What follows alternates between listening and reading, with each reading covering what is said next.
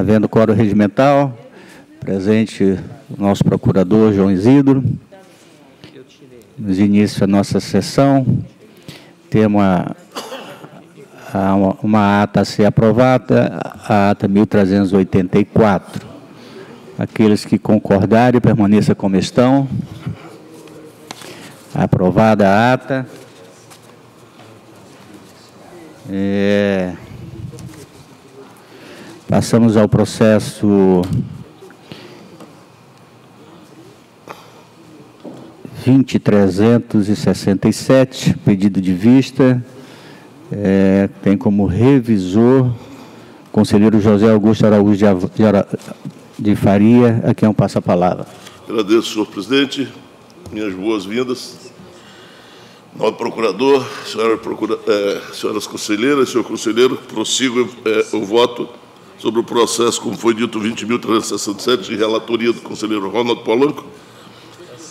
É, é uma prestação de contas da, da, Fundação de Tecnologia do Estado do Acre, exercício 2014, e eu passo ao meu voto, excelência. Meu voto. Constata-se que, na análise, a Fundação não cumpriu integralmente com as metas estabelecidas por exercício quanto à fábrica de preservativos masculinos, que expediu apenas 58.767.264 unidades de preservativos, equivalente a 64,02% do cumprimento da meta de produção de 91 milhões e 800 mil estabelecida para 2014. É pertinente a observação da instrução para que seja realizado um novo plano de ação que reflita o levantamento detalhado acerca da viabilidade futura da fábrica de preservativos, em face do volume de recurso público investido, da inclusão social pretendida e do fortalecimento e viabilização da economia que subsidiaram uh, esse projeto. Também foi constatado que a Fundação, no intuito de disfarçar sua dívida, realizou uma anulação de R$ 940.853,35 de despesas no final do exercício, e grande parte dessas notas fiscais foram emitidas e atestadas durante o exercício 2014, e assim, obrigatoriamente, deveriam ter sido inscritas em restos a pagar em obediência à Lei Federal 4320-64, artigo 36. Apesar do valor supramencionado ter sido empenhado, atestado e anulado do exercício 2014, é certo que o pagamento aconteceu em 2015, na fonte 200, com o valor de R$ 909.667,59, e o restante, de R$ 21.185,76, pagos na fonte RP e RPI. Porém, houve, não houve nenhuma reclamação por parte do credor ou do credor a esse respeito. Para justificar esse erro, a defesa, a folha 87, esclarece assim, aspas, ocorre que, devido à burocracia do final do ano para encerramento do exercício, o Ministério da Saúde não teve tempo hábil para repassar os valores devidos em 2014, fazendo esse repasse em 5 de janeiro de 2015, fecha aspas. E, assim sendo, faço disso o voto. Um, pela emissão de acórdão considerando irregular a pressão de conta da Fundação de Tecnologia do Estado do Acre, Funtac Exercício Orçamentário e Financeiro 2014, de responsabilidade do senhor Luiz Augusto Mesquita de Azevedo, presidente à época, Conforme na Lei Complementar Estadual 38-93, artigo 51, 3, a linha B, em face de grave infração à norma legal ou regulamentar de natureza contábil, financeira, orçamentária, operacional e patrimonial, face de despesas efetuadas e anuladas no final do exercício sem qualquer explicação. Pela condenação do senhor Luiz Augusto Mesquita de Azevedo, diretor-presidente à época, e a senhora Catarina de Souza Almeida, diretora técnica operacional, também à época, ao pagamento de multa solidária no valor de R$ 14.280, aos cofres do Tesouro Estadual, dos termos da Lei Complementar Estadual 38-93, artigo 89, inciso 2, no prazo de 30 dias, a partir da citação deste, de tudo dando ciência a este tribunal, autorizando desde logo a cobrança judicial, tudo nos termos da Lei Complementar Estadual 38-93, artigo 58, inciso 3. Pela notificação do atual gestor da FUNTAC, para apresentado no prazo de 90 dias, de tudo dando ciência a esse tribunal, um plano de ação de viabilidade futura da fábrica de preservativos que garanta o cumprimento da missão para a qual a Natex foi criada e certifica do apurado o chefe do Poder Executivo do Estado do Acre. Após a formalidade de estilo, pelo arquivamento, Excelência, é o meu voto. Em votação, conselheiro Valmir Ribeiro. Excelência, o conselheiro Valmir havia votado, era meu Ele o votado na revisor. sequência. O, conselheiro Valmir estava como presidente. Então, quero ver se ele pode votar hoje. Desculpe-me, de fato, estava como presidente, eu deixo a critério de vossas excelências. O procurador está aí. Eu já tinha votado aqui também. Érica, nós já tínhamos votado, né?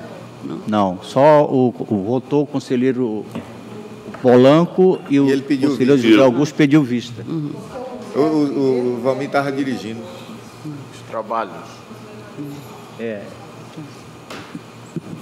Ouço o conselheiro Valmir, se está apto a votar. Eu, eu estava realmente à época, Presidindo. nesse momento, estava presidindo os trabalhos, mas eu ficaria, eu votaria, agora eu poderia votar sim, eu voto com o conselheiro relator, conselheiro relator, sim, o conselheiro eh, José. Augusto é o revisor, eu acompanho o voto do conselheiro relator. Relator, ótimo. Conselheiro Antônio Malheiro. Excelência. Excelência é um processo interessante. E, inclusive, como, como com, com situações que marcam a classificação da irregularidade ou não da irregularidade. E muito interessante, os dois pontos de vista.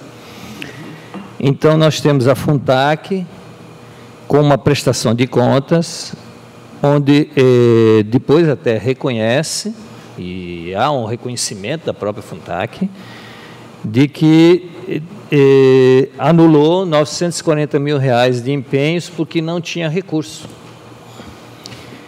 Se esse recurso não fosse nada especial, a análise tinha que ser assim: é, último ano de mandato, artigo 42 da LRF, impossível deixar restos a pagar sem cobertura na fonte 100. Irregularidade, crime, Ministério Público.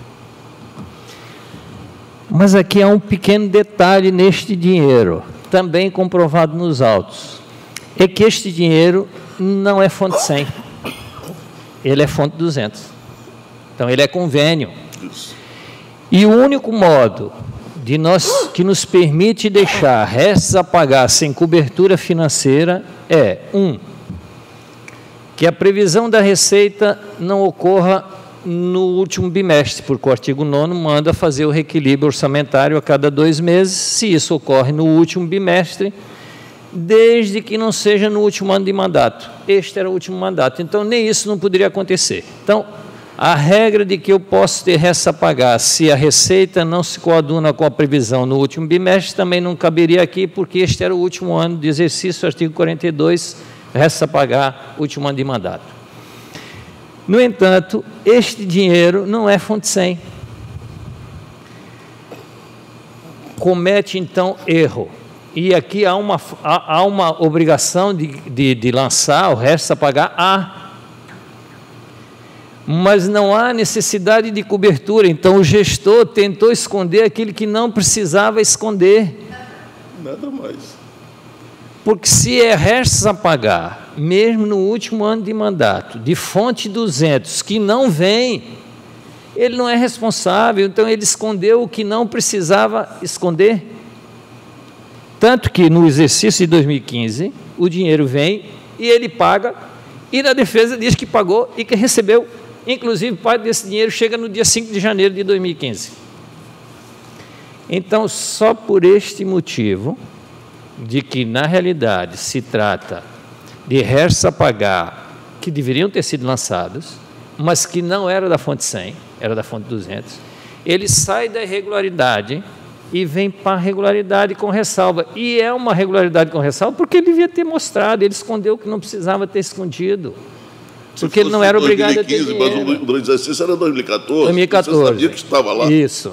Ele devia ter lançado. Nada mais. Então, assim, como é uma. Aqui, então, como não há irregularidade, a irregularidade é deixar a resta pagar sem cobertura financeira. Neste caso, ele não precisava ter deixado a cobertura financeira, porque o dinheiro não era fonte 200. Então, nesse caso, e só por causa disso, e entenda a posição do, do revisor, também coerente, mas como ele não tinha a responsabilidade de deixar o dinheiro, que aqui era o crime, acompanho o voto do, do relator na regularidade com ressalva, entendendo corretamente a, a posição do revisor, que também está tá colocado aqui. Só um. Eu tenho insistido muito nessa, nessa situação que não é só o Acre que vive, mas é o mundo inteiro que são as que são essas instâncias de, do público privado, né, que, que se criou. É, ninguém mais faz desenvolvimento isolado, nem o setor privado, nem o setor público. Então, nesse caso, a parceria ali do, do da Funtac, aliás, do Estado, para viabilizar aquela estrutura lá, que tem uma combinação ali bem, que é o aspecto ambiental, social, com a, a geração de empregos né, e a fixação do, do pessoal nas áreas de reserva, o governo federal, no período, se dispôs a comprar os preservativos. E isso só foi possível realizar via convênios, porque não havia, não há ainda no, no, no, no espaço jurídico nacional possibilidades de fazer essas, essas aquisições de forma direta ainda. Então, o, o que o Acre, o Estado fez naquele período, via Funtac, fazer essas, essas saídas institucionais que não são tão maduras. Daí que a Funtac se envolve nesse processo e, e gera uma, uma certa é, confusão em como você vai, aonde você coloca esse dinheiro, né?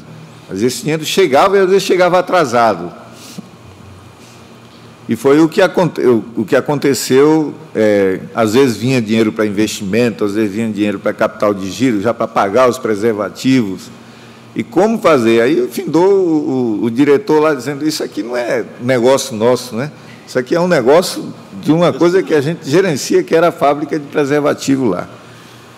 E eu acho que essa é a motivação, conselheiro Malheiro, que faz com que é, aconteça. Mas eu aconteça essa situação. Mas eu, eu sugeri já aqui para a gente fazer uma discussão sobre isso.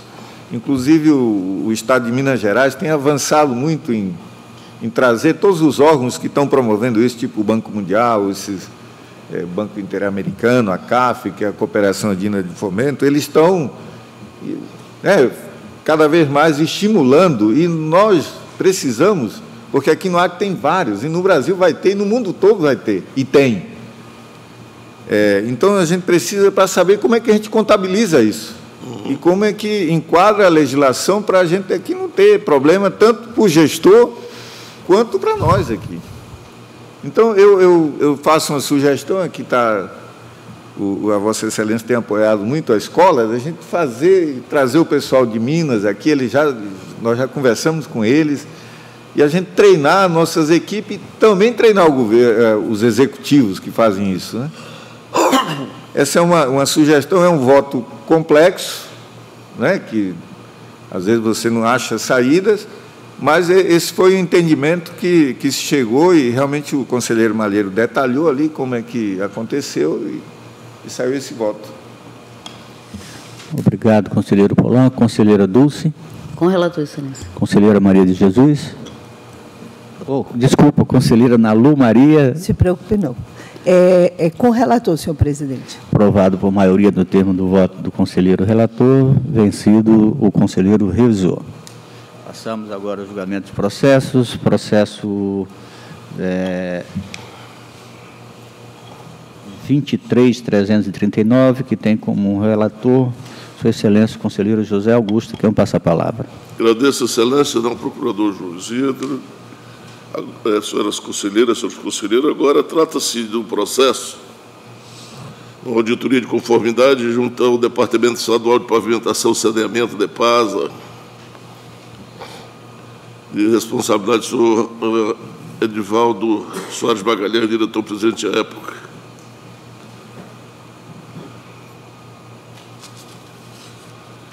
Trata-se de processo de programação de auditoria de conformidade para verificar o fornecimento e o consumo de combustível durante o exercício 2016 no, no DEPASA, em órgãos da administração pública municipal e estadual, com o objetivo de identificar problemas, propor soluções e auxiliar na formulação de controles mais eficientes, melhorando a utilização dos recursos públicos. Caminhada inicialmente a documentação da DAFO, a TCDCE foi procedida a análise e proposta a situação dos responsáveis. Dois pontos. Senhor Edivaldo Soares Magalhães, diretor-presidente da época, senhora Solange Alves da Costa Magalhães, diretora executiva administrativa e financeira, senhora Eliette Franco de Oliveira, responsável pelo controle interno, senhor Joel Oliveira da Silva, divisão de transporte de Paz Rio Branco, Cristian Magalhães de Souza, divisão de transporte em Rio do Sul, Domingos Martins da Silva Filho, gerente de Paz em Sena Madureira, Alex Mendes de Souza, gerente em Tarauacá. Com fundamentação no artigo 48, inciso 2 da Lei Complementar Estadual 38 de 93, para que apresentem alegações de defesa a respeito do abastecimento de veículos que não pertencem à instituição, não integram a relação de veículos locados e que não foram cedidos por outros órgãos ao DEPASA, no valor de R$ 176.358,14, infringindo o artigo 10, inciso 2 da Lei Federal 8.429, escrito no item 2.1.1 do mesmo relatório. Citados os gestores responsáveis, a Folha 72-186, a senhora Solange Alves da Costa solicitou cópia do feito e todos solicitaram dilação de prazo por mais 15 dias para apresentarem suas defesas. Isso foi concedido, evidente, em seguida ao término do prazo anterior, e na certidão da Secretaria das Sessões consta que os gestores Eliette Franco de Oliveira, Edvaldo Soares Magalhães, apresentaram defesa da natureza tempestiva, e Solange Alves da Costa, Magalhães Joel Oliveira da Silva, Cristian Magalhães de Souza, Domingos Martins da Silva Filho e Alex Mendes de Souza não deram entrada na Secretaria das Sessões de quaisquer documentos em cumprimento aos expedientes de folha 174, 176, 181, 183 e 185. Caminhada toda a documentação, a DAFA, exarou o relatório complementar de auditoria de conformidade de folha 228 por 236, concluindo que os documentos apresentados pelos defendentes não foram suficientes para justificar a ocorrência dos achados de auditoria e considerando o disposto da Lei Complementar Estadual 38-93, artigo 36, inciso 1, e na Resolução TCA 58-2005, artigo 1 a inspetoria propõe a aplicação de multas ao gestor, com fundamento na Lei Complementar Estadual 38-93, artigos 88 e 89, aos gestores por irregularidade no fornecimento e no consumo de combustíveis do Departamento de Pavimentação e Saneamento de Paz, bem como determinada devolução no valor de R$ 156.915,60 aos cofres públicos corrigidos monetariamente. Caminhado feito MPC, Senhor Procurador Mário Serné de Oliveira se pronunciou no feito aos folhas 273 274 dos autos, excelência, o relatório. Com a palavra, Sua Excelência, o Procurador, para a sua manifestação. Obrigado, senhor presidente. Trata-se de auditoria sobre o fornecimento de consumo de combustível no DEPASA, referente ao exercício 2016, sob a responsabilidade do senhor Edivaldo Soares Magalhães, diretor-presidente à época. Após a citação de diversos agentes e o cotejo das defesas apresentadas pelo responsável pela senhora Eliette Franco Oliveira, chefe do controle interno, a terceira IGCE concluiu que os documentos apresentados deixaram de comprovar a finalidade pública de parte dos gastos, bem como revelaram incompatibilidades e uso indevido de produtos. Isto posto, e caracterizada a situação descrita no caput do artigo 78 da Lei Orgânica deste Tribunal, requeremos a conversão nominal deste feito em tomada de contas especial e, co e concordamos com o reconhecimento da irregularidade da gestão, a teor do disposto no caput do artigo 54 do referido diploma legal e com as imputações implicadas pela análise, as folhas 234/236, acrescidas de encargos ali previstos, cujo resumo é o seguinte: 1. Um, ressarcimento solidário de R$ 156.915,60 entre os senhores Edivaldo Soares Magalhães, Joel Oliveira da Silva, Cristian Magalhães de Souza, Domingo Martins da Silva Filho e as senhoras Solange Alves da Costa Magalhães e Eliette Franco de Oliveira. 2. Ressarcimento pelo gestor de R$ 98.042,47 pela ordenação de despesa com abastecimento de veículos sem vínculo institucional. 3. Ressarcimento pelo dirigente de R$ 58.873,13 pelo gasto com abastecimento acima da capacidade do tanque de combustível dos veículos. 4. Multa com base no item 3 do artigo 89 da Lei Orgânica da Corte, a senhora Solange Alves da Costa Magalhães, pela prática, pelas práticas descritas às folhas 234-235. Mesma providência com relação a Eliette Franco de Oliveira, com base nas condutas descritas à folha 235, ao senhor Joel Oliveira da Silva, com base nos achados apontados à folha 235, ao senhor Cristian Magalhães de Souza, conforme item 4.6 do relatório complementar, e ao senhor Domingo Martins da Silva, nos termos do item 4.7 da análise final. Este é o parecer da lava do procurador Mário Sérgio Nery de Oliveira. Com a palavra, Sua Excelência, o relator para o seu voto. Não mais alongamento, Excelência, eu passo direto ao voto. Reconheço a irregularidade da gestão dos procedimentos relativos ao fornecimento e consumo de combustíveis, com fundamento na Lei Complementar Estadual 38, 93, artigo 54, do DEPASA, de responsabilidade do senhor Edvaldo Soares Magalhães, diretor-presidente à época. Condeno os senhores Edivaldo Soares Magalhães, Joel Oliveira da Silva, Cristian Magalhães Souza, Domingos Martins da Silva Filho e as senhoras Solange Alves da Costa Magalhães e Eliette Franco de Oliveira, conforme na Lei Complementar Estadual 38, 93, artigo 54, a devolver solidariamente ao Tesouro do Estado do Acre a quantia de R$ 156.915,60, corrigida monetariamente em face do abastecimento de veículos não oficiais ou sem vínculos institucionais, ou seja, alugados, entidades conveniadas, etc., ou sem condição de uso, e do abastecimento acima da capacidade do tanque de combustível do veículo, gerando assim danos área. Pela aplicação acessória solidária, os senhores Edvaldo Soares Magalhães, Joel Oliveira da Silva, Cristian Magalhães de Souza, Domingos Martins da Silva Filho, e a senhora Solange Alves da Costa Magalhães, Eliette Franco de Oliveira, no montante de R$ 15.691,56, correspondente a 10% de todo o valor a ser devolvido, com fulcro do artigo 88 da Lei Complementar Estadual 38, 93. Condena o senhor Edivaldo Soares Magalhães, diretor-presidente à época, a ressarcir aos cofres públicos do DEPASA a importância de R$ 98.042,47 em face da ordenação de despesa com abastecimento de veículos sem vínculo institucional, permitido ou concorrendo para que pessoa física ou jurídica privada utilize bens, rendas, verbas ou valores da administração pública, sem observância das formalidades legais ou regulamentares aplicáveis à espécie. Condena o senhor Edivaldo Soares Magalhães, diretor-presidente da época, a ressarcir aos cofres do DEPASA a importância de R$ 58.873,13 pelo gasto com abastecimento acima da capacidade do tanque de combustível dos veículos. Aplica multa sanção à senhora Solange Alves da Costa Magalhães, diretora executiva à época, no valor de R$ 14.280, com fulcro na Lei Complementar Estadual 38-93, artigo 89, inciso 3, em face do abastecimento de veículos sem vínculo institucional, sem verificar a legalidade e regularidade da despesa pública.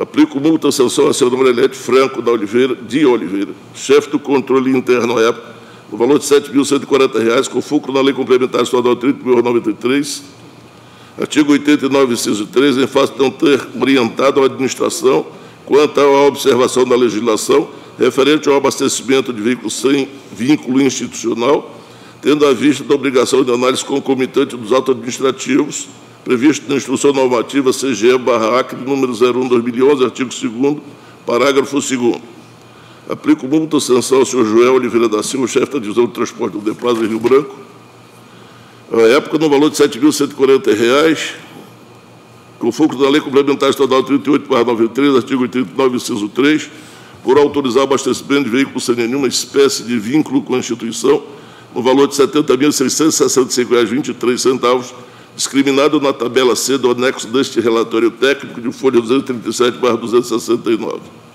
Aplico multa sanção ao senhor Cristian Magalhães de Souza, chefe da divisão de transporte do Depósito em Cruzeiro do Sul, à época, no valor de R$ 3.570, com fulcro da Lei Complementar Estadual 38, 93, artigo 89, inciso 3, por autorizar o abastecimento de veículos sem nenhuma espécie de vínculo com a instituição, no valor de R$ 24.266,40, discriminado na tabela C do anexo deste relatório técnico, folha 237, 269.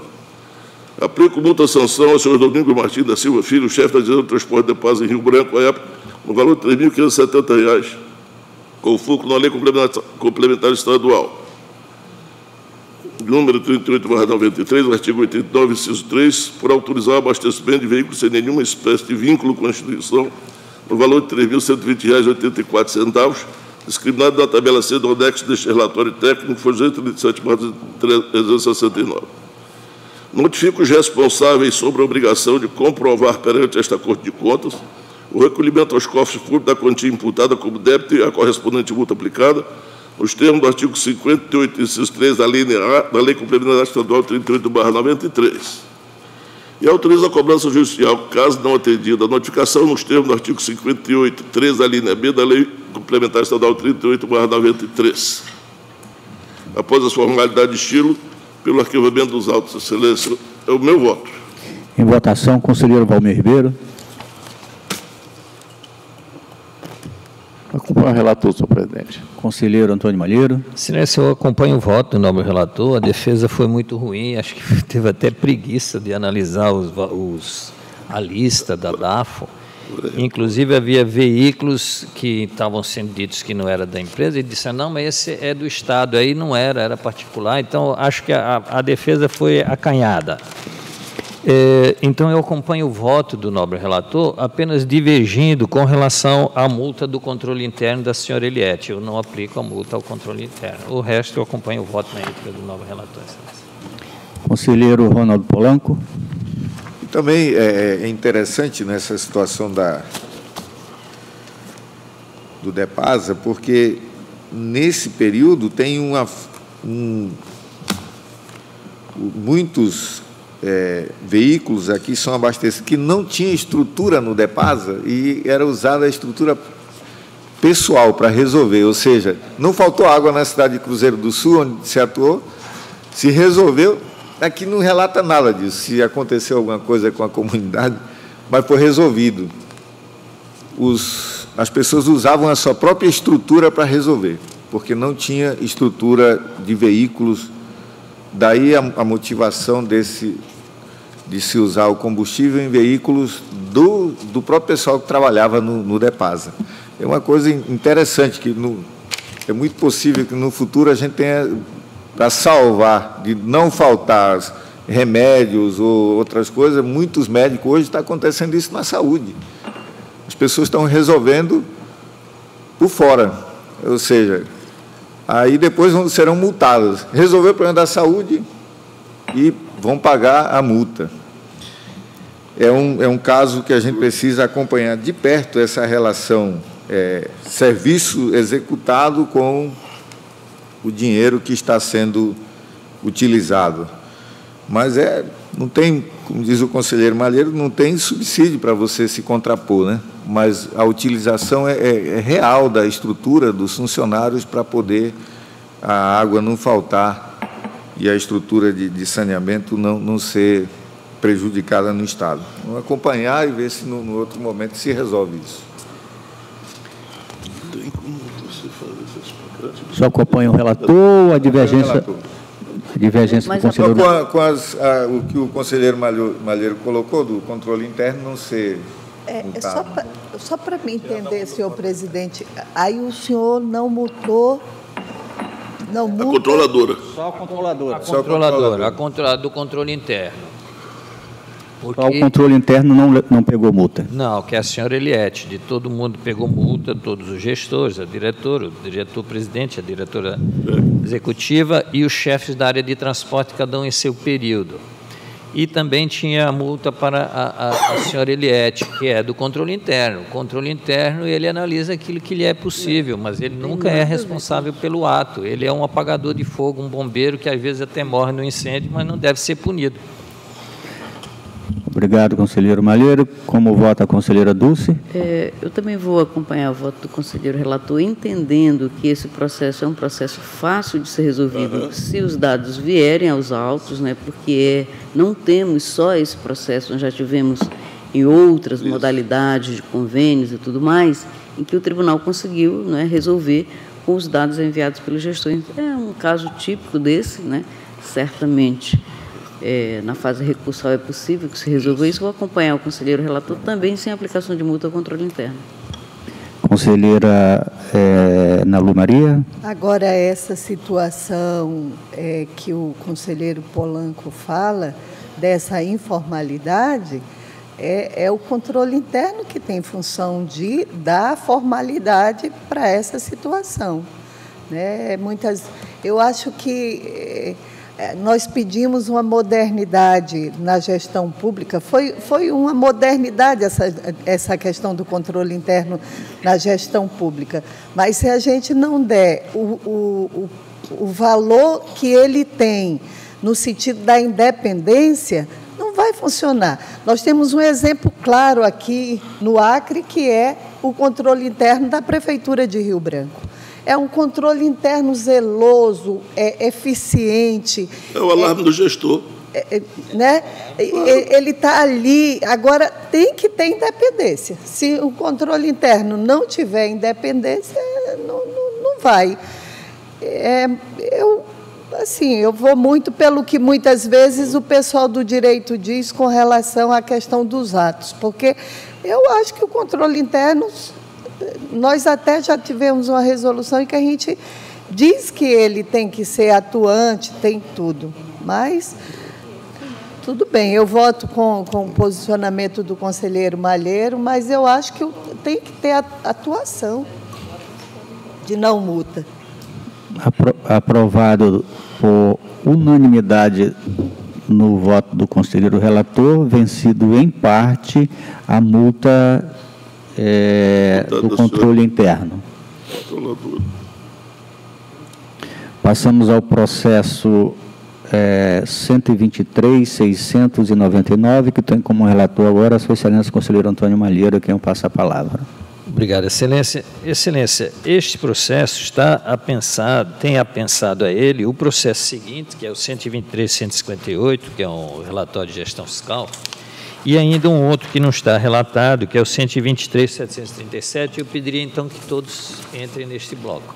Então seria o processo Os 3, dois, o 4. O 3 e o 4. O outro ele está pensado, apenas não está relacionado, mas ele vai. Então, então 3 e 4 será julgado em bloco, ouço o Ministério Público.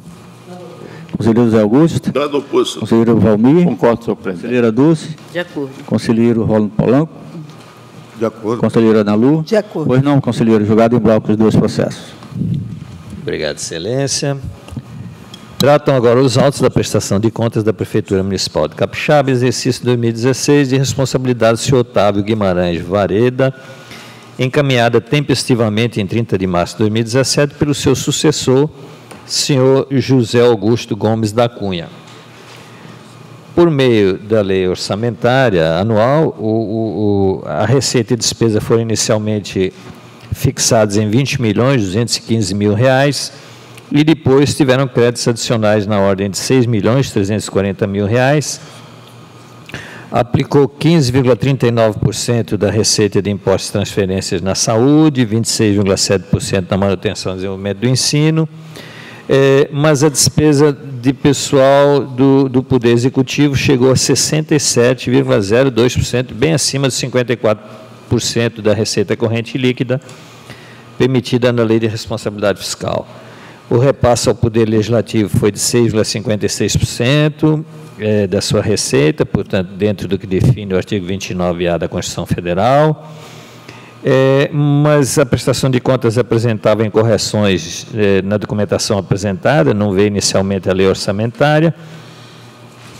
E, e o, pelo balanço apresentado, o saldo financeiro de R$ 306.494,01 não foi confirmado. Havia divergências no inventário de bens, não foi encaminhado parecer do Conselho Municipal de Saúde, é, a despesa pessoal já estava acima, conforme mencionamos anteriormente. É, não contabilizou as obrigações patronais durante o exercício, restando R$ 552.052,23. É, foram feitas é, realização de despesas na ordem de 5 milhões mil reais sem processo licitatório. Não foi enviadas as fichas financeiras dos secretários municipais não tinha controle interno. O gestor eh, que apresentou a prestação de contas e o contabilista foram inicialmente citados. O doutor Paquet, corretamente através da, da doutora Ana Helena, lembrou que o gestor à época era o senhor Otávio Guimarães Vareda e ele foi então citado a posterior, mas também ficou inerte e, novamente, o doutor Paquet se pronunciou através da sua ilustre procuradora, doutora Ana Helena de Azevedo Lima, o relatório, excelência. Palavra sua excelência, o procurador, para a sua manifestação. Obrigado, senhor presidente. Prestação de contas de referência de responsabilidade do senhor Otávio Guimarães Vareda foi encaminhada tempestivamente a esta Corte por seu sucessor, senhor José Augusto Gomes da Cunha, atual gestor, no dia 30 de março de 2017. A análise técnica inicialmente procedida constatou falhas e irregularidades a seguir elencadas, pelo que sugeriu a citação do senhor José Augusto Gomes da Cunha e do responsável pela elaboração dos demonstrativos contábeis, senhor Djalma Eduardo Cardoso, para o contraditório. As irregularidades são ausência de peças obrigatórias relacionadas no, no, na resolução TCACRE 87/2013, não envio, não cadastro no sistema elege do Tribunal da Lei Orçamentária Anual, inconsistência do balanço financeiro é, em razão de uma diferença de R$ 306.494,01 entre o saldo transferido para o exercício seguinte e o apurado mediante extratos e conciliações bancárias. Registra ainda desequilíbrio entre as transferências financeiras concedidas e recebidas. Inconsistência do balanço patrimonial em razão dessa diferença é, no saldo financeiro transferido para o exercício seguinte. Não confirmação do montante contabilizado e registrado no grupo imobilizado, uma vez que o levantamento é, de, do inventário feito pela, pelo município não apresenta valores, ausência do parecer do Conselho Municipal de Saúde, despesa com pessoal acima do limite máximo, tanto para o município quanto para o Poder Executivo, diferença da ordem de R$ 552.052,23 entre as obrigações patronais previstas em lei e as calculadas mediante os empenhos, ou seja, a prefeitura utilizou uma base de cálculo menor para recolher a Receita Federal a título de INSS e a Caixa Econômica a título de FGTS um valor a menor, de R$ 552.052,23.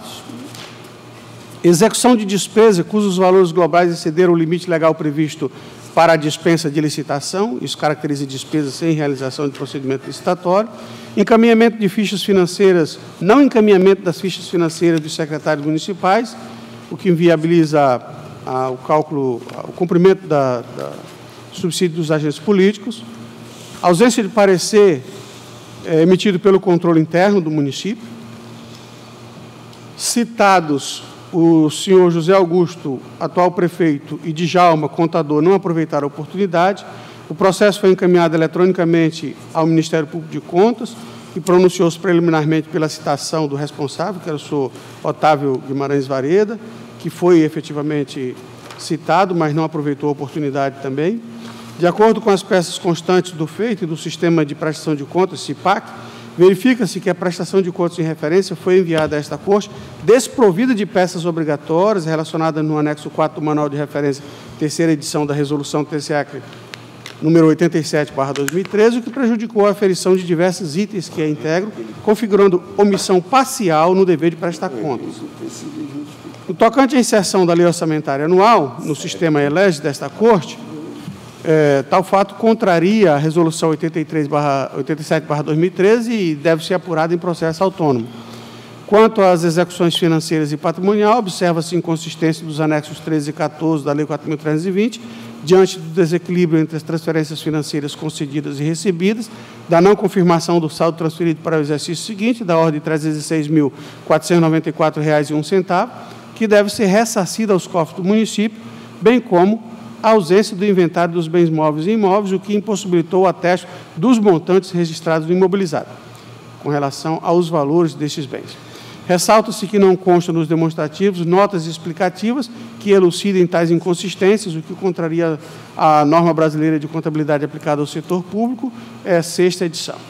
No que se refere aos limites constitucionais e legais, verifica-se a extrapolação da despesa de pessoal do município, é, que registrou 69,62% da receita corrente líquida, ultrapassando o limite máximo que é de 60%, e também do Poder Executivo, que registrou despesas da ordem de 67,02%, quando o máximo permitido é de 54% da receita corrente líquida. Quanto às obrigações patronais, contribuição, contribuições previdenciárias e FGTS, constata-se a divergência da ordem de R$ 552.052,23 em, entre o valor empenhado de R$ 2.676.905,99 e o calculado pela instrução no montante de R$ 3.228.958,22, evidenciando recolhimento a menor que o devido, é, contrariando a Lei 8.212-91, artigo 22, inciso 1, e a Lei 8.036-90, artigo 15. Demonta também a existência de despesas executadas no exercício cujos valores globais excederam o limite legalmente previsto para dispensa de licitação, evidenciando a realização de despesas sem licitação. Em relação à remuneração dos secretários municipais, verifica-se que os valores foram enviados ao CIPAC, porém desprovidos das cópias do ato, dos atos de fixação do subsídio dos agentes políticos, conforme determina o item 20, anexo 4 do Manual de Referência terceira edição da Resolução TCA número 87, 2013. Ademais, não foram enviados os pareceres do controle interno e do Conselho Municipal de Saúde. Finalmente, não é evidência nos autos ou no CIPAC da criação do sistema de controle interno do Poder Executivo do município de Capixaba no exercício de 2016. Ante exposto, considerando a ausência de defesa por parte dos interessados, este Ministério Público de Contas opina: 1. Um, pela emissão de parecer prévio considerando irregular a prestação de contas do governo do município de Capixaba, referente ao exercício de 2016, com fulcro nas alíneas A, B e C do inciso 3 do artigo 51 da Lei Complementar Estadual número 38, 93 pela emissão de acordo considerando irregulares as contas de gestão de responsabilidade do senhor Otávio Guimarães Vareda, prefeito à época, com imputação de débito apurado em R$ 306.494,01, decorrente de saldo financeiro não comprovado, consoante disposto no artigo 54, caput da Lei Complementar Estadual número 38, 93, e da multa prevista no artigo 88 do mesmo diploma legal, que é a multa acessória a ser fixada é, pelo plenário. 3. Aplicação de multa sanção ao senhor Otávio Guimarães Vareda, dosada a critério do plenário, em razão das graves infringências da norma legal verificadas no feito, nos termos da autorização incerta no inciso 2 do artigo 89 da Lei Orgânica deste Tribunal.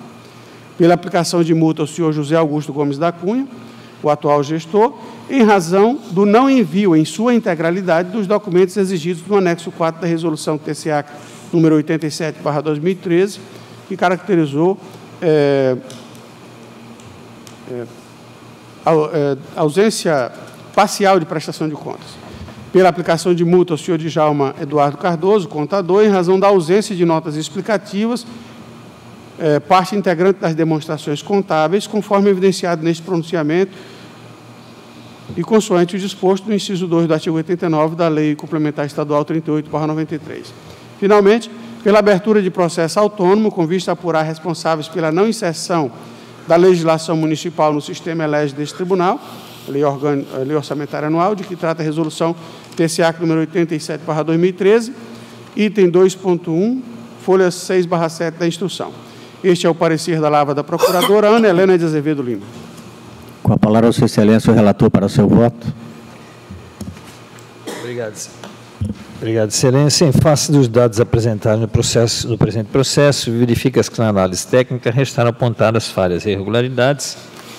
O processo correu à revelia e, assim sendo, voto. Pela emissão de parecer prévio, considerando irregulares as contas do senhor Otávio Guimarães Vareda, ex-prefeito do município de Capixaba, referente ao exercício 2016, e encaminhamento de cópia dos autos à Câmara Municipal, para seu julgamento de acordo com o ordenamento constitucional em face das seguintes falhas e irregularidades. É, a falha apresentada no item 1, na, na, na documentação ap apresentada, no encaminhamento da lei orçamentária, não confirmação de saldo financeiro na casa de R$ 306.494,01, divergência no balanço, no inventário, não encaminhamento de parecer do Conselho Municipal de Saúde, despesa de pessoal na casa de é, 67,02% da receita corrente líquida, não contabilização do valor integral das obrigações patronais do exercício, faltando R$ 552.052,23. realização de despesa no valor de R$ 5.428.916,50 sem processo licitatório, não encaminhamento das fichas financeiras dos secretários municipais eh, não, não, e não existência de controle interno. Em destaque pela emissão de acórdão, condenando o senhor Otávio Guimarães Vareda, ex-prefeito do município de Capixaba, a devolução aos cofres municipais da quantia de R$ 306 mil eh, R$ 494,01, acrescido da multa de 10%, prevista no artigo 88 da Lei Complementar Estadual 38, em razão da não confirmação do saldo financeiro transferido para o exercício seguinte, imputação de multa no valor de 14.280 ao senhor Otávio Guimarães Vareda, ex-prefeito do município de Capixaba, em razão, das falhas graves apontadas, aplicação de multa ao senhor Jaume Eduardo Cardoso, contador, no valor de R$ 7.140 em face das falhas apontadas, e não lançamento dos encargos devidos, desapensamento e arquivamento dos processos 123.158, 123.737, relativos aos relatórios de gestão fiscal 2016, prestação de contas do Fundo Municipal de Saúde 2016, respectivamente, é, abertura de tomada de conta especial para a, apurar é, o pagamento aos secretários municipais e, as, e a correta aplicação dos recursos públicos eh, utilizados na, na, na, ordem de R$ 5.428.916,50, eh, sem o devido procedimento eh, licitatório de sobremaneira na verificação de sobrepreço. Notificação do atual gestor para recondição imediata dos valores da despesa de pessoal aos limites da lei de responsabilidade fiscal, caso ainda persista tal desatino, encaminhamento ao Ministério Público em face dos restos a pagar sem cobertura financeira na casa de R$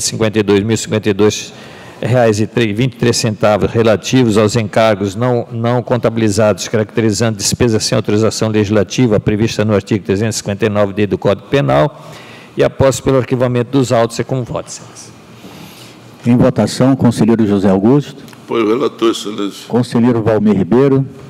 Acompanho o voto, senhor presidente. Conselheira Dulce. Oh, desculpa, conselheiro Polanco. Acompanho o voto. Só, é, como ele atrasou os encargos e não dá para. Ele não contabilizou, nada se contabilizasse, não tinha dinheiro. Não tinha. Conselheira Dulce. Com relator. Conselheira Nalu Maria. Com relator, senhor Aprovado por unanimidade nos termos do voto do conselheiro relator, que continua com a palavra agora com o processo 130.699. Obrigado, Excelência. Trata agora o processo de uma denúncia formulada pela empresa Terra Nova Construção, Comércio e Importação Limitada, protocolada por seu representante legal, o senhor Daniel Valério Gomes Borges, em face da Prefeitura Municipal de Tarouacá, relatando possíveis irregularidades é, na tomada de preço relativa ao edital número 03-2018 para a construção de 11 módulos sanitários domiciliares no município de Tarouacá. Relata o denunciante que participou do certame, porém foi desclassificado pela comissão de licitação, que entendeu que a proposta de preço apresentada por ele, de 218 mil reais, estaria abaixo da margem para execuibilidade, adjudicando a licitação ao segundo proponente com um valor superior dele em quase 80 mil reais, R$ 79.583,79 assevera o requerente que, quando do julgamento das propostas de preço, a comissão descumpriu as cláusulas e condições definidas previamente no edital, deixando de julgar os licitantes conforme disposições definidas no ato convocatório, desclassificando a empresa denunciante sem nenhum amparo legal.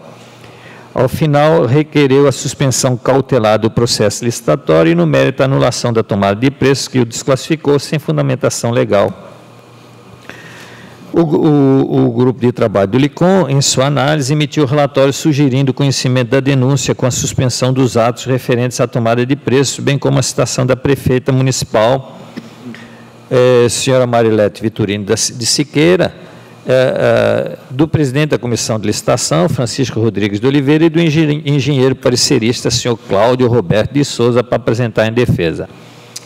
Apenas o engenheiro colocou, apresentou defesa, o grupo de trabalho do LICOM, em sua análise, emitiu relatório conclusivo sugerindo suspensão do processo licitatório e aplicação de multas responsáveis em face das inconsistências e irregularidades apontadas, que era o descumprimento da resolução 97, pelo envio intempestivo da documentação ao LICOM, a desclassificação indevida da empresa Terra Nova, porque é, é, usando como parâmetro tal uma correção monetária do valor do edital, o que seria incoerente, pois não foi feita no edital nada dizendo que deveria fazer essa correção que eles usaram para depois dizer que o preço era inexequível e contratar alguém com 80 mil reais a mais.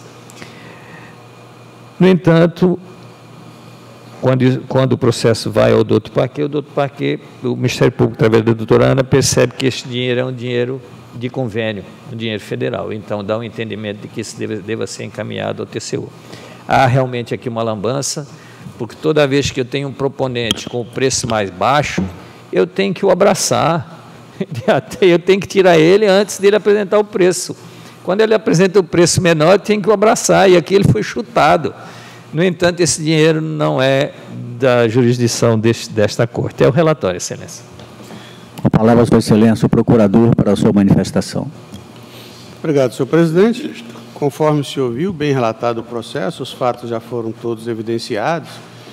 É, o que restou de competência desse tribunal foi o envio intempestivo e incompleto do procedimento ao portal de licitações e contratos, LICOM, é, E nesse sentido,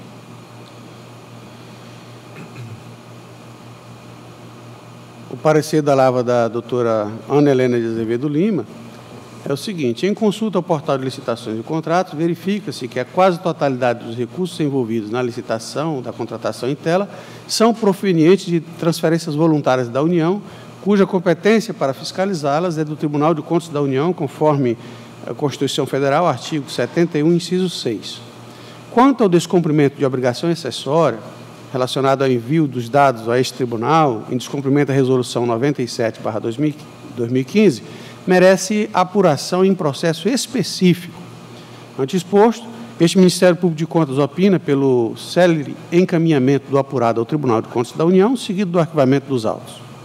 Este é o parecer, senhor presidente, senhoras e senhores conselheiros. A palavra, Sua Excelência, o relator para o seu voto.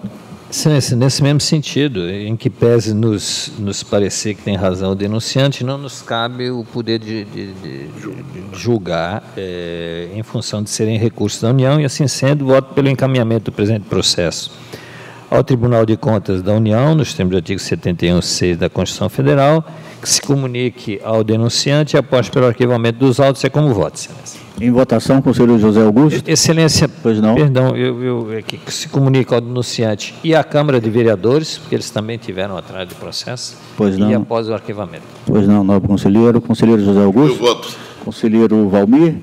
Põe voto. Conselheiro Ronaldo Polanco. Põe voto. Conselheira Dulce. Com relator. Conselheira Ana Lu Maria. Com relator. Aprovado por unanimidade os termos do voto do conselheiro relator, que continua com a palavra agora com o processo 130.559. Obrigado, Excelência. O presente processo foi autuado com base na comunicação interna da DAF 608, onde a área técnica desta Corte constatou que o RGF do segundo quadrimestre de 2018 do Poder Executivo do Estado apontava gastos com despesa de pessoal na ordem de 47,26% sobre a receita corrente líquida estando a, a, a, no relatório apresentado acima do limite prudencial. Porém, quando faz a análise, aponta ainda as inconsistências de que nele não foi é, computado o valor do ProSaúde de R$ 90.633.468,32 que havia uma dedução indevida da totalidade das despesas com inativos de 810 milhões de reais, sendo 301 repassado pelo Estado para cobertura de insuficiência financeira e 98 a título de ressarcimento de dívida com a Previdência, aumento substancial das despesas de exercícios anteriores, contabilizado incorretamente, e secundária técnica, efetuados os ajustes descritos nas alíneas A, B e C, o limite de despesa de pessoal pularia de 47% para 57,92%, portanto, ficando acima do limite máximo da LRF. Devidamente citados, o secretário de Fazenda, a senhora Lília, o diretor de contabilidade, o senhor Raimundo, eh, inicialmente não aproveitaram a oportunidade, é, mas isso foi feito em ato contínuo. É, a defesa intempestiva foi trazida aos autos e argumenta que, quanto ao repasse para o Fundo de Previdência Social, com a finalidade de cobrir a insuficiência financeira, que, tal, que havia sido feito um reconhecimento de dívida pelo Estado em favor do Acre Previdência, por meio do qual o Estado pretende ressarcir o valor transferido no ano de 96 do extinto Fundo de Assistência Previdenciária ao Tesouro, por meio da Lei Complementar 52, razão pela qual tais recursos são originalmente previdenciários e por isso não devem ser classificados como repasse para cobertura de déficit financeiro que o Poder Executivo teria tomado todas as medidas cabíveis possíveis para adequar o volume da despesa com o pessoal, exonerando cargos em comissão, funções de confiança, bem como incluindo no relatório de despesas com o pessoal do terceiro quadrimestre, já os gastos com o ProSaúde. Em atenção aos princípios da verdade real contraditório, o feito foi novamente a primeira inspetoria, que emitiu um novo relatório. Seguidamente, retornou ao doutor Paquet para aparecer. É o relatório, excelência. A palavra a Sua Excelência, o procurador, para a sua manifestação. Obrigado, senhor presidente. Trata-se de processo aberto a partir de expediente da DAFO, noticiando que a despesa total com o pessoal do Poder Executivo Estadual ultrapassou o limite prudencial previsto na LRF, atingindo o percentual de 47,26% da receita corrente líquida. Regularmente instruído, a primeira IGCE, pela primeira IGCE, foram apuradas as seguintes inconsistências na apuração do limite legal. 1. Um, ausência de registro de despesas com o pessoal do Serviço Social de Saúde, ProSaúde, no valor de 90 milhões reais reais 32 centavos. Inclusão indevida para fins de dedução do cálculo no limite as despesas com inativos e pensionistas que foram custeadas com valores prevenientes da cobertura do déficit financeiro do regime próprio de previdência social, cujos aportes não possuem natureza de receita vinculada. 3. Inclusão indevida para fins de dedução do cálculo do limite dos valores despendidos a título de ressarcimento de dívida, cujos recursos destinados não possuem receita, é, natureza de receita vinculada ao regime de previdência próprio dos servidores. Esta quantia está embasada no termo de confissão de dívida que o Estado assinou com a Previdência, que registra um montante no período de R$ 98 milhões 15.354,24. Quatro, inclusão indevida para fins de dedução no cálculo do limite dos valores incorretamente inscritos nas rubricas de despesa de exercícios anteriores, cujos montantes considerados ou pertencem a despesas próprias ou ao período de, é, ao período de análise, sob análise, setembro de 2017 agosto de 2018, ou refere-se aos valores que vinham sendo repassados ao regime próprio de Previdência Social desde 2016 para cobertura de déficit financeiro. Considerando o apurado, a instrução destacou a necessidade de ajustes no cálculo constante do relatório de gestão fiscal do segundo quadrimestre de 2018. Sendo assim, elaborou a tabela de folhas 28/29 dos autos, cujos resultados, incluindo essas despesas que foram indevidamente é, excluídas, revelam um agravamento da situação fiscal da origem, com um percentual de gasto com o pessoal do Poder Executivo do Estado da ordem de 57,93% da receita corrente líquida, acima do limite máximo previsto na linha C do inciso 2 do artigo 20 da Lei de Responsabilidade Fiscal. Prosseguindo, destacou a ineficácia do termo de confissão de débitos, firmado pelo Estado com o Instituto de Previdência, para fins de apuração ou dedução do limite de despesa com pessoal do Poder Executivo. Em vista do apurado, os responsáveis foram citados, contudo, não aproveitaram a oportunidade no prazo regulamentar. Encaminhado a este parquê, após pronunciamento de mérito, as folhas 48/52, a relatoria autorizou a juntada de justificativas apresentadas inoportunamente pelos responsáveis.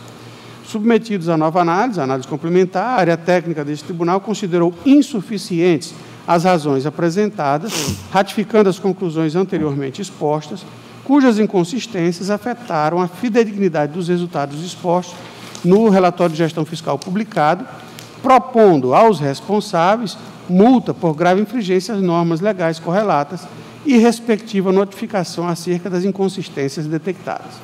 Em relação à extrapolação do limite da despesa com pessoal apurado, é, em 57,92% da receita corrente líquida após os ajustes, tendo em vista a intempestividade na apreciação da matéria, a instrução considerou ineficaz para fim de notificação ao gestor, quanto às medidas necessárias ao atendimento da Lei de Responsabilidade Fiscal. O processo retornou a este MPC em 30 de agosto de 2019. Conforme conclusões técnicas esboçadas após o contraditório, restaram confirmadas as inconsistências do relatório de gestão fiscal publicadas pelo Poder Executivo do Estado relativo ao segundo quadrimestre de 2018, especificamente no que tange à apuração do percentual das despesas com pessoal.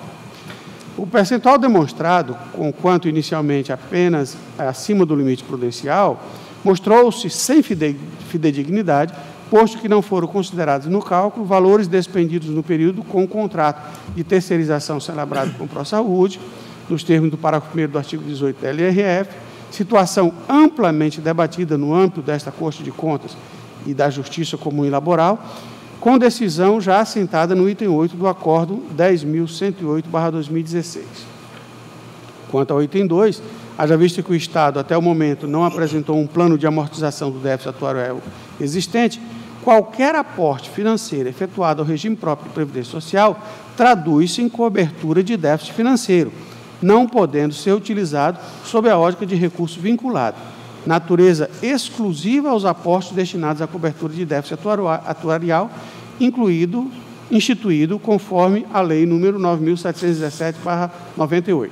Ademais, Considerando apurado nos itens 3 e 4, denota-se que o termo de reconhecimento de dívida celebrado pelo Estado com o Instituto de Previdência mostra-se ilegítimo em seus efeitos, cujos lançamentos decorrentes, com vistas à redução do limite de gasto com o pessoal da origem, não possuem qualquer base legal que os subsidie.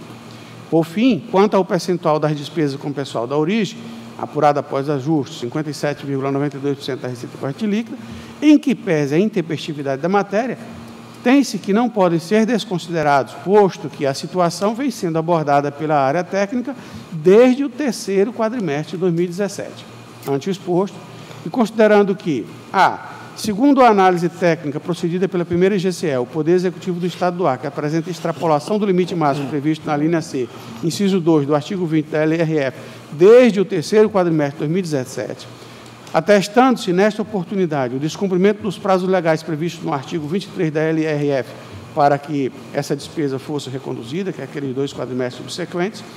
B. Tendo em vista que o responsável não foi notificado acerca das conclusões técnicas esboçadas no relatório de gestão fiscal citado no item anterior, cujo processo ainda tramita nesta Corte de Contas, e também considerando a intempestividade da análise da matéria nesta oportunidade, supondo ter reduzido os montantes gasto com pessoal ao limite prudencial previsto na LRF por meio das ações empreendidas, as quais, detalhadas neste pronunciamento, não encontram sustentação na legislação de regência da matéria, este Ministério Público de Contas opina. 1. Um, pela aplicação de multa prevista no artigo 89.2 da Lei Complementar Estadual 38-93, a senhora Lilian Virgínia Bahia Marques Canizo, secretária de Estado da Fazenda em exercício à época, e ao senhor Raimundo Nonato de Oliveira, diretor da Contabilidade Geral do Estado à época, pelas inconsistências na elaboração do demonstrativo da despesa com o pessoal da origem, referente ao segundo quadrimestre de 2018. Dois, pela notificação do senhor Gladson de Lima Cameli, atual chefe do Poder Executivo Estadual,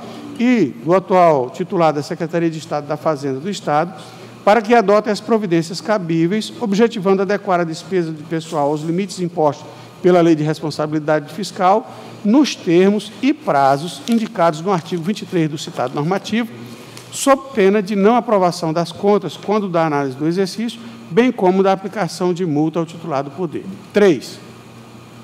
Pela notificação do atual, do atual titular da Secretaria de Estado da Fazenda, para que realize o repasse da cobertura de insuficiência financeira do regime de previdência próprio é, do Estado por meio de transferências financeiras, conforme estabelece o item 4.3.5 do Manual de Contabilidade aplicado ao setor público, sétima edição, bem como desconsidere os efeitos do termo de confissão de débito celebrado pelo Estado com o Instituto de Previdência do Estado do Acre, Acre Previdência, para fins de apuração do limite da despesa com pessoal do Poder Executivo. Finalmente, pela notificação do Instituto de Previdência do Estado do Acre, Acre Previdência, para que mantenha o registro destacado das despesas com benefícios previdenciários pagos com recursos vinculados e não vinculados, informando ao Poder Executivo para que proceda ao registro correto da dedução no demonstrativo da despesa com pessoal na elaboração do RGF.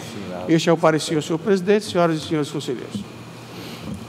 Com Com a palavra, a Sua Excelência, o relator, para o seu voto. Obrigado, Excelência. Excelência, para entendermos então essa situação, é o seguinte: no segundo quadrimestre de 2018, o Poder Executivo Estadual encaminhou o seu RGF, eh, onde demonstrava que a despesa de pessoal era 47% da receita corrente líquida, abaixo dos 49% da Lei de Responsabilidade Fiscal. É, acho que até já sabiam que nós computávamos a, a, o então, se nós somássemos o ProSaúde, dava exatamente os 49. Só erraram para dar 49,3, porque haviam 2 milhões de, de resta pagar de, de exercícios anteriores mal contabilizado, e aí fugiu 0,3. Mas então apresentaram 47%. O Tribunal de Contas, como diz desde 2016, diz assim: ó, o pró-saúde entra. Então, vamos colocar o pró-saúde. E a lei de responsabilidade fiscal diz assim: além de todas as despesas, de, inclusive de, de, de serviços como o pró-saúde, quando você tiver déficit nos inativos, ele também entra.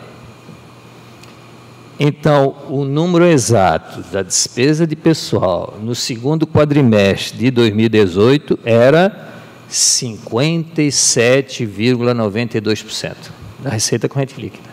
Isso se mantém até hoje. Então, hoje, a despesa de pessoal do Poder Executivo já fugiu da casa dos 40%, já estamos quase na casa dos 60%. Muito bem. Mas, como nós já decidimos, inclusive, no, no, no, no relatório do primeiro quadrimestre, houve um artifício do governo mas um artifício legal, autorizado pelo povo na Assembleia Legislativa, que disse o seguinte: ó, oh, lembra daquele dinheiro tirado lá em 1996? Vamos poder pagar. Então, o que fez o Estado neste artifício? Legal, é um artifício? É, porque a despesa não vai deixar de ser 57%. Mas o que fez o Estado? Ó, oh, então eu vou pagar minha dívida de 1996. Corrigiu e o tribunal já abriu um processo para ver se a correção está ou não correta. Mas não entremos nesse detalhe. Há uma autorização legislativa do povo autorizando repor no Acre Previdência o dinheiro tirado em 1996. E o que diz a lei de responsabilidade fiscal? Toda a receita do fundo é abatido. Então, o governo, neste artifício legal, usou este recebimento para abater e abate exatamente no total da diferença. Então, quando nós fazemos esse abatimento neste mês, chega a 49,3, porque há um erro na contabilização do exercício anterior. Então, com isso, o valor da despesa de pessoal no segundo quadrimestre de 2018 é 57,92. Mas quando nós retiramos esta autorização legislativa, que não nos cabe, no meu entender, e salvo melhor juízo, com data vênia, discutir, porque é uma autorização do povo, quando a gente faz este abatimento, ele cai para 49,03. Então, ele fica bem próximo do limite. Então, nesse sentido, e com essas observações, e na mesma linha que nós já votamos o primeiro quadrimestre, entendo que está bem próximo, aqui não cabe nenhuma outra situação, até porque se houvesse também estaria no processo de, de correção. Voto.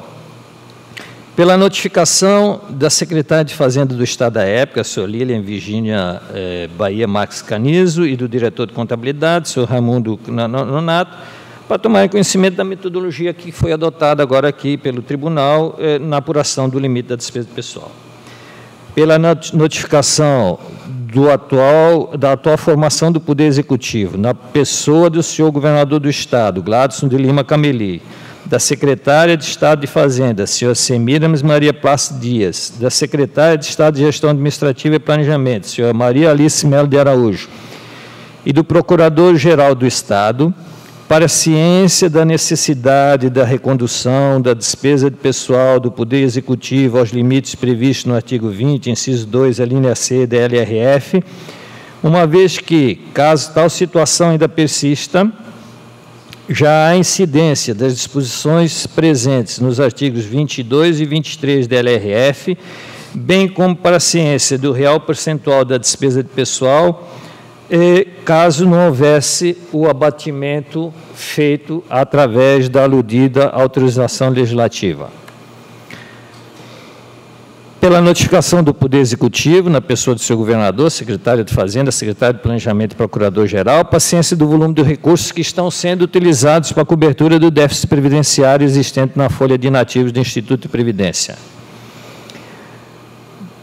pela notificação da secretária de Planejamento e secretária de Fazenda e Procurador-Geral, para que tomem conhecimento do conteúdo da análise técnica em relação às despesas com o pessoal, para entenderem este procedimento, que hoje ele já está vindo desta forma, com o ProSaúde.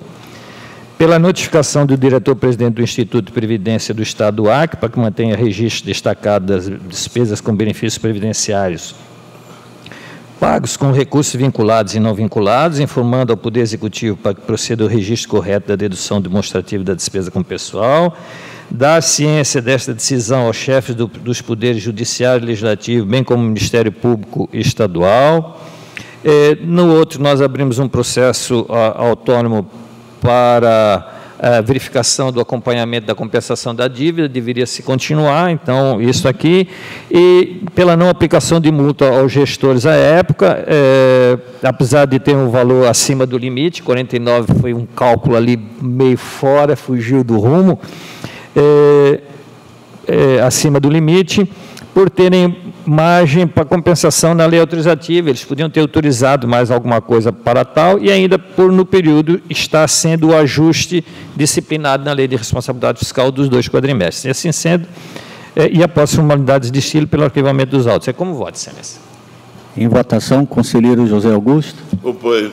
Conselheiro Valmir Ribeiro. Voto com o relator, senhor presidente. Conselheiro Ronaldo Polanco. Apoio o voto. Conselheira Dulcineia. Com relator, excelência. Conselheira Nelo Maria. Com relator, senhor Aprovado por unanimidade nos termos do voto do conselheiro relator. Que continua com a palavra agora com o processo 19402. Excelência, eu pediria para retirar de pauta esse processo. Pois não, nobre conselheiro, retirado de pauta o processo. Passamos ao processo 123.695, que tem como relator agora a sua excelência conselheiro Ronaldo Polanco. Obrigado, senhor presidente, nobre procurador, conselheiras, conselheiros, nossa amiga Érica. É, Trata-se de prestação de contas do Fundo Municipal de Assistência Social, exercício orçamentário e financeiro 2016. A responsabilidade é da senhora Maria das Dores Araújo, a secretária de Desenvolvimento e Municipal de Desenvolvimento e Gestão Urbana. O, a área técnica emitiu relatório preliminar, as folhas 3 a 24, apontando irregularidades, citações, é, defesas, o relatório conclusivo da folha 98 a 101, a unidade técnica é, opinou pela regularidade das contas. Parecer pronunciamento ministerial, a folha 106 é o relatório, senhor presidente. A palavra sua excelência, o procurador, para a sua manifestação. Obrigado, senhor presidente. Após a fase do contraditório, a área técnica noticia uh, regularidade nos atos de gestão. Isto posto, concordamos com o julgamento da matéria como regular, teor do inciso 1 do artigo 51 da Lei Complementar Estadual número 38, 93. Este é o parecer da Lava do Procurador, Mário Sérgio Nery de Oliveira. Com a palavra, Sua Excelência, o relator para seu voto. Senhor presidente, o nosso entendimento tem a mesma lógica do parecer ministerial e logo em seguida pelo arquivamento dos autos. Em votação, conselheiro José Augusto. Apoio, excelência. Conselheiro Valmir Ribeiro. Voto com o relator, senhor presidente. Conselheiro Antônio Malheiro. Acompanho o voto, excelência. Conselheira Dulcineia. Relator, excelência. Conselheira Maria, Com Conselheira Nalu Maria. Aprovada por unanimidade os termos do voto do conselheiro relator, que continua com a palavra agora com o processo 123.949. Trata-se da prestação de contas, de contas do Fundo Previdenciário de Rio Branco, referente ao exercício de 2016, a responsabilidade do senhor Marcelo Luiz de Oliveira Costa, época. O corpo técnico emitiu relatório preliminar, as páginas 3 e 4, opinando pelo arquivamento dos autos, em razão da perda de objeto. É o parecer ministerial, página 9, também acompanha o posicionamento da área técnica. é o nosso relatório, senhor presidente. Com a palavra, Sua Excelência, o procurador, para a sua manifestação. Obrigado, senhor presidente. É, na verdade, o objeto destes autos é idêntico ao do processo 123.677, que já foi julgado pelo Pleno desta Corte, que emitiu o acordo 11.011 de 2018, 27 de novembro de 2018. Ah, antes exposto, é, conclui-se pela perda de objeto da matéria e consequente arquivamento. Este é o parecer, senhor presidente, senhoras e senhores conselheiros. Com a palavra, Sua Excelência, o relator, para o seu voto. Nosso entendimento é o mesmo, senhor presidente, pelo arquivamento autos.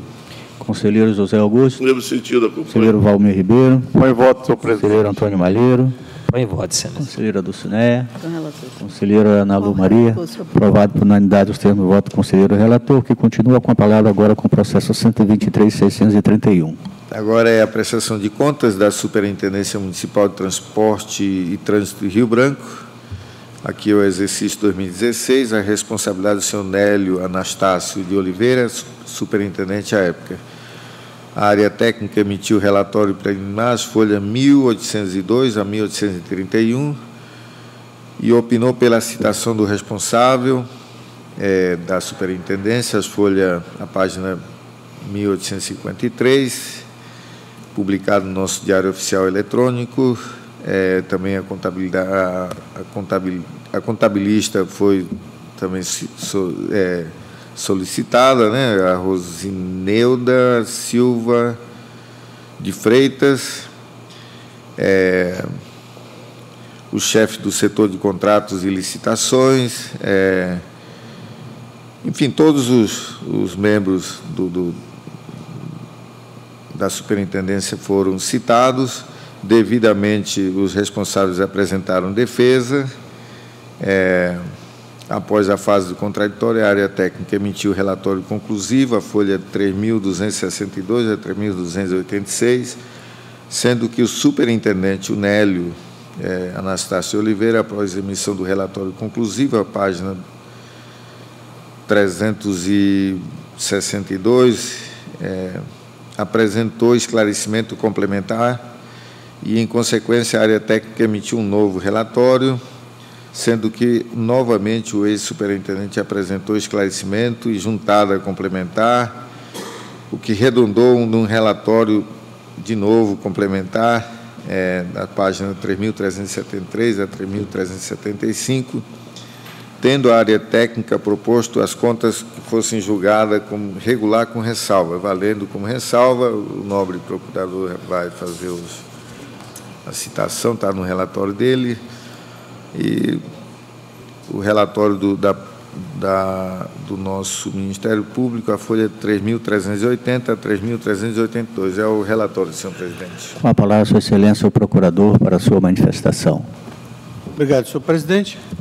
Trata-se da prestação de contas da Superintendência Municipal de Transporte e Trânsito, RB Trans, exercício 2016. De responsabilidade do senhor Nélio Anastácio de Oliveira, superintendente à época.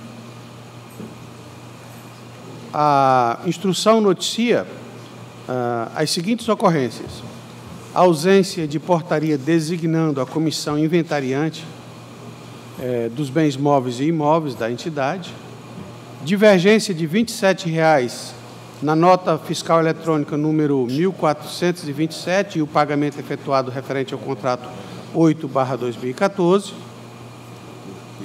ausência de justificativa para a necessidade da contratação de dois encarregados para gerenciar uma equipe formada por dois funcionários e um auxiliar, um, um auxiliar de serviços gerais. A ausência de justificativa com relação à vantajosidade da prorrogação do contrato 02/2015 com relação ao segundo termo aditivo. Havia também uma uma incorreção com relação à distribuição de combustível, que posteriormente foi esclarecida. Ante o exposto, este Ministério Público de Contas opina pela emissão de acordo, considerando regular com ressalvas a prestação de contas da Superintendência Municipal de Transporte e Trânsito de Rio Branco, RB Trans, exercício de 2016, de responsabilidade do senhor Nélio Anastácio de Oliveira, com foco no artigo 51, inciso 2 da Lei Orgânica deste Tribunal. valendo como ressalvas uh, os itens 1, 2, 3 e 4, é, acabado, é, acabamos de descrever. Este é o parecer da lavra do procurador Sérgio Cunha Mendonça. Com a palavra, Sua Excelência, o relator para seu voto. O entendimento é o mesmo do senhor presidente, nobre, nobres conselheiro e conselheiro do parecer ministerial irregular com ressalva, como ele já colocou aí os, quais são os elementos que compõem a ressalva, não vou ler. Então, pela notificação dos responsáveis para conhecimento do, inter, do, do, do acordo prolatado, e em seguida pelo arquivamento dos autos. É o nosso voto, senhor presidente. Em votação, conselheiro José Augusto. Compõe, excelência. Conselheiro Valmir. Compõe o voto, senhor Conselheiro Antônio Malheiro. Compõe o voto, excelência. Conselheira Dulce. Com relator. Conselheira Nalu. Com relator, senhor. Aprovado por unanimidade, termo do voto do conselheiro relator, que continua com a palavra agora com o processo 123.608. Trata-se da prestação de contas do Fundo Municipal de Esporte e Lazer, referente ao exercício 2016, responsabilidade do senhor Afrânio Moura de Lima, à época, o corpo técnico emitiu um relatório preliminar, as folhas 11 e 17, opinando pela regularidade da prestação de contas. É, da mesma forma, o nobre representante do Ministério Público opinou, a página 22, que fosse aprovadas as contas com ressalvas e, em consequência, o responsável pelo fundo de exercício do Fundo Municipal né, foi citado no Diário Eletrônico, no número 986, 26 de 10 de 2018.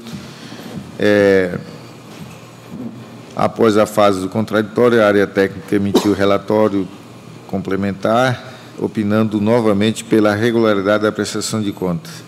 Parecer ministerial, a folha 40 e 41, opinando pela regularidade com ressalva. É, valendo aqui a, a ressalva a falta de operacionalização do fundo. É o nosso relatório, senhor presidente. Com a palavra, Sua Excelência, o procurador, para a sua manifestação. Obrigado, senhor presidente. Em verdade, a prestação, o Fundo de, de Municipal de Esporte e Lazer, no período de 2016, ele permaneceu inoperante. Não há registro de nenhuma é, despesa, receita. E a instrução propõe que as contas sejam julgadas regulares, considerando que, por tratar-se de um fundo meramente contábil, a qualquer momento dele poderia ser utilizado a administração pública, atendendo assim o princípio da continuidade. Em que pese os argumentos expostos pela instrução quanto à ausência de prejuízo em manter o fundo municipal de esporte e lazer, até que seja útil administração, tem-se que sua inoperância vem sendo observada desde sua criação no ano de 2011, à exceção do exercício de 2014, denotando assim, em quatro exercícios, é, de atos de gestão no sentido da concretização das a ausência de atos de instrução é, no concernentes à concretização das finalidades para a qual foi criado pela Lei Municipal 1839 de 2011. É, depois a gente viu também que em 2017 e 2018 o fundo continuou inoperante. É, assim, considerando tratar-se de um fundo especial, conforme descrito no artigo 71 da Lei 4.320, suas receitas, devidamente especificadas na lei de sua criação, se vinculam à realização de determinados objetivos na área de esporte e lazer. Sendo observado no presente caso, eventual desvio de finalidade quando os recursos deixam de ser empregados em seu objeto, sendo remanejados para os outros órgãos da Prefeitura Municipal de Rio Branco. Assim, conclui-se que as atividades vinculadas ao Fundo Municipal de Esporte e Lazer poderiam compor ações ou programas específicos da Secretaria Municipal de Esporte e Lazer de Rio Branco, sem qualquer prejuízo ao cumprimento das políticas públicas estabelecidas na respectiva área. Ou, no caso de sua manutenção, sem qualquer tipo de operacionalização, sua prestação de contas integra a contabilidade da citada secretaria. Ante o exposto, este Ministério Público de Contas opina pela regularidade com ressalvo da prestação de contas subexame, ateor do inciso 2 do artigo 51 da Lei Complementar Estadual 38/93, bem como pela comunicação da apurada aos chefes dos poderes executivo e legislativo do município, para que adote as providências que entenderem necessárias em defesa do interesse público, da administração e do erário, de tudo dando ciência a este tribunal. Este é o parecer, senhor presidente, senhoras e senhores conselheiros. Com a palavra, Sua Excelência, o relator para o seu voto. Senhor presidente, o entendimento é o mesmo no parecer ministerial e logo em seguida pelo arquivamento dos autos. É o nosso voto. Em votação, conselheiro José Augusto. Acompanho. Conselheiro Valmir Ribeiro. Voto, senhor presidente. Conselheiro Antônio Malheiro. Voto com o relator, senhor. Conselheira Dulce. Com relator. Conselheira Nalu Maria. Com o relator, senhor presidente. Aprovado por unanimidade nos termos do voto do conselheiro relator. Passamos ao processo agora 24819, que tem como relatora Sua Excelência a conselheira Dulcineia Benício. Obrigada, Excelência, senhor Procurador, doutor João Isidro, representando o Procurador-Chefe, senhoras conselheiras e senhores conselheiros. Trata-se de recurso de reconsideração contra o Acordo 11.137, de 14 de fevereiro de 2019, prolatado nos autos 24.398, que se referiam a processo autônomo para apuração de responsabilidade do gestor da Prefeitura de Feijó, em razão da Portaria 41, que convocou candidatos aprovados no concurso público 01 de 2017 desconsiderando que a despesa com pessoal superava o limite previsto na Lei Complementar número 101/2000, de relatoria do ilustre conselheiro Antônio Jorge Malheiro, onde ficou decidido por maioria no plenário pela nulidade dos atos praticados pelo gestor e aplicação de multa. E resignado, o gestor, após o conhecimento da decisão, recorreu é, tempestivamente, asseverando que houve a contratação na área de educação e tudo mais, diante da necessidade de cumprimento do termo de ajustamento de conduta pactuado, postulando ao final a reforma do julgado, pedindo para julgar o feito originário em conjunto com os atos 2403 e excluir a multa aplicada, tendo em vista que havia obrigatoriedade de cumprimento do TAC firmado,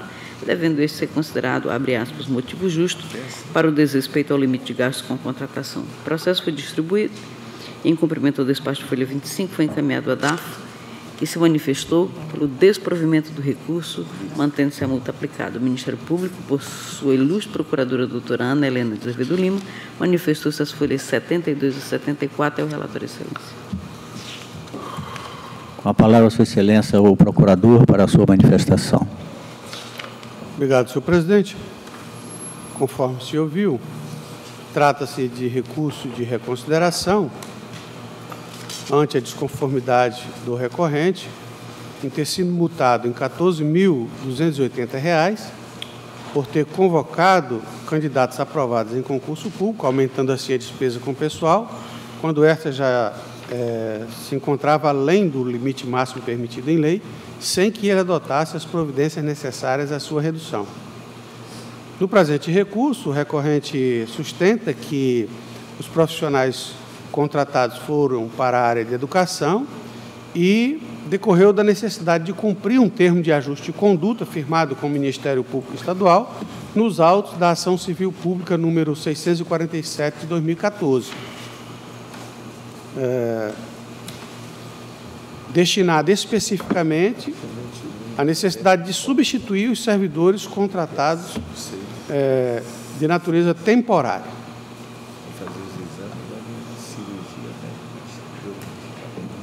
Assevera também o recorrente que não foi observada a ocorrência do bis e idem, pois a multa que lhe foi imposta também foi aplicada em outro quatro, outros quatro processos no âmbito deste tribunal. 24.203, 24.294, 24.469 e 24.623, que versam sobre o mesmo fato, ou seja, aumento de despesa com pessoal. Razões pelas quais requereu que os mencionados feitos sejam processados e julgados é, nos autos do processo 24203.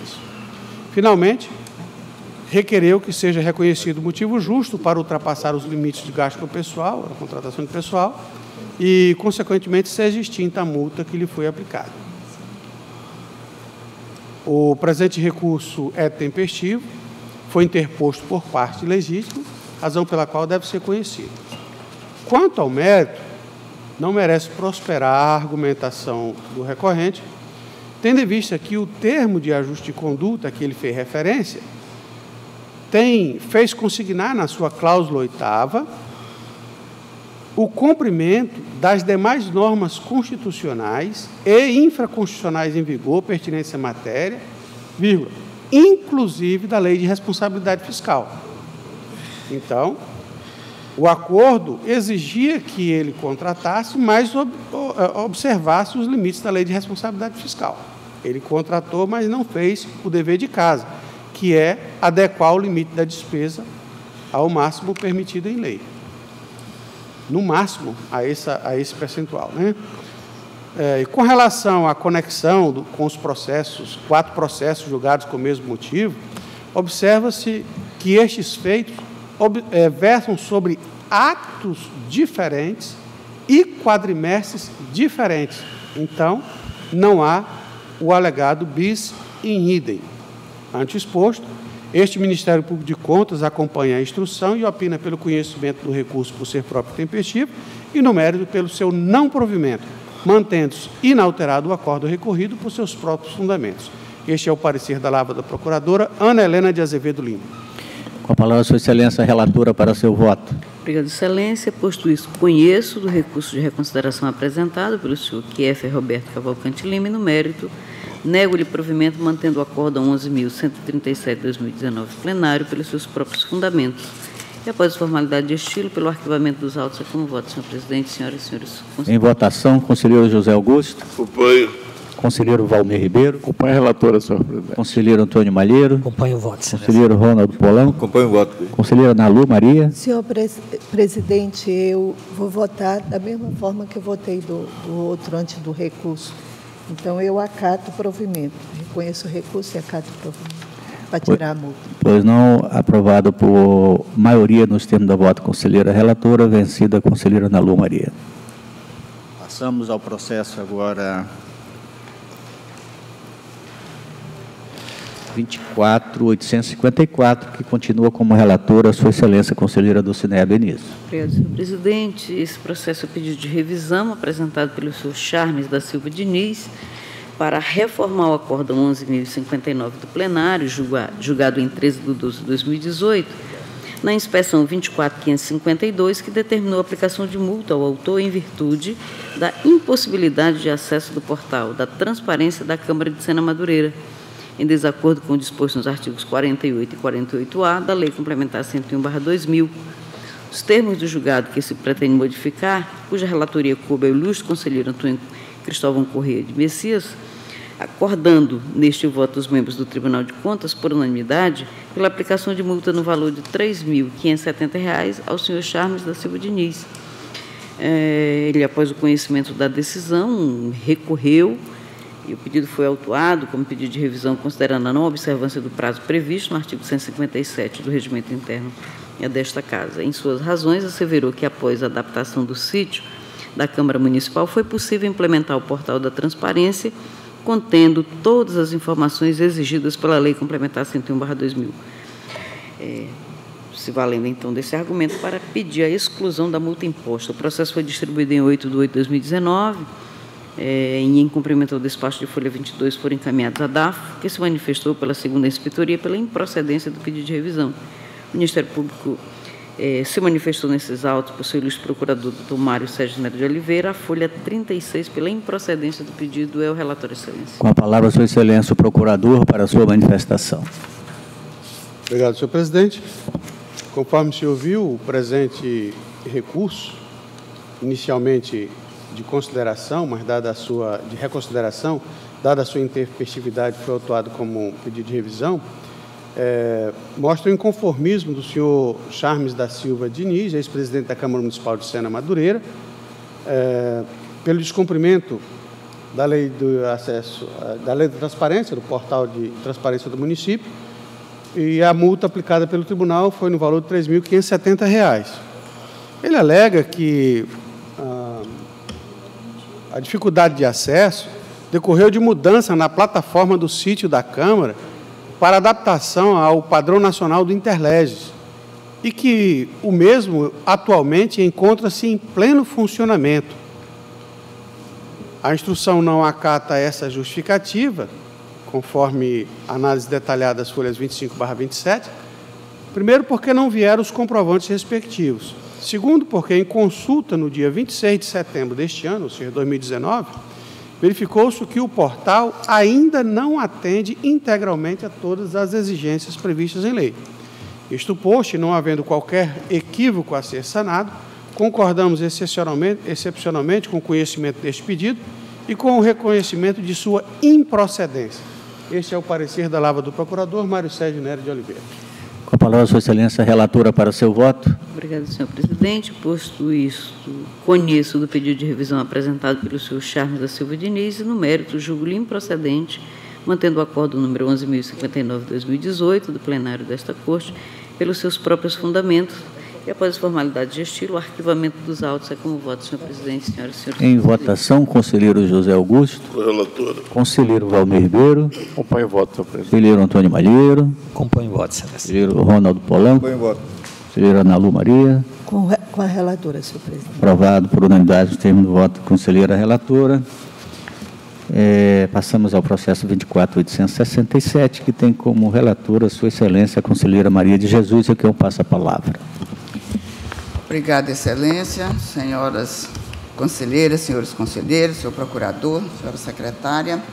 Trato o presente processo de recurso de embargo de declaração interposto pelo senhor Romualdo de Souza Araújo, prefeito municipal de Bujari, por meio do seu advogado constituído, doutor Hilário de Castro Melo Júnior, em face da decisão contida no acordo número 11.299 de 2019 deste plenário, exarada nos autos do processo número 24.778 de 2019, que tratou do pedido de revisão da decisão contida no acordo número 24148 de 2018 da Segunda Câmara, exarada nos autos do processo número 24.382, também de 2018, que apurava a responsabilidade pela não realização de cadastro eletrônico no Lincoln, em descumprimento à resolução TCE número 97 de 2015.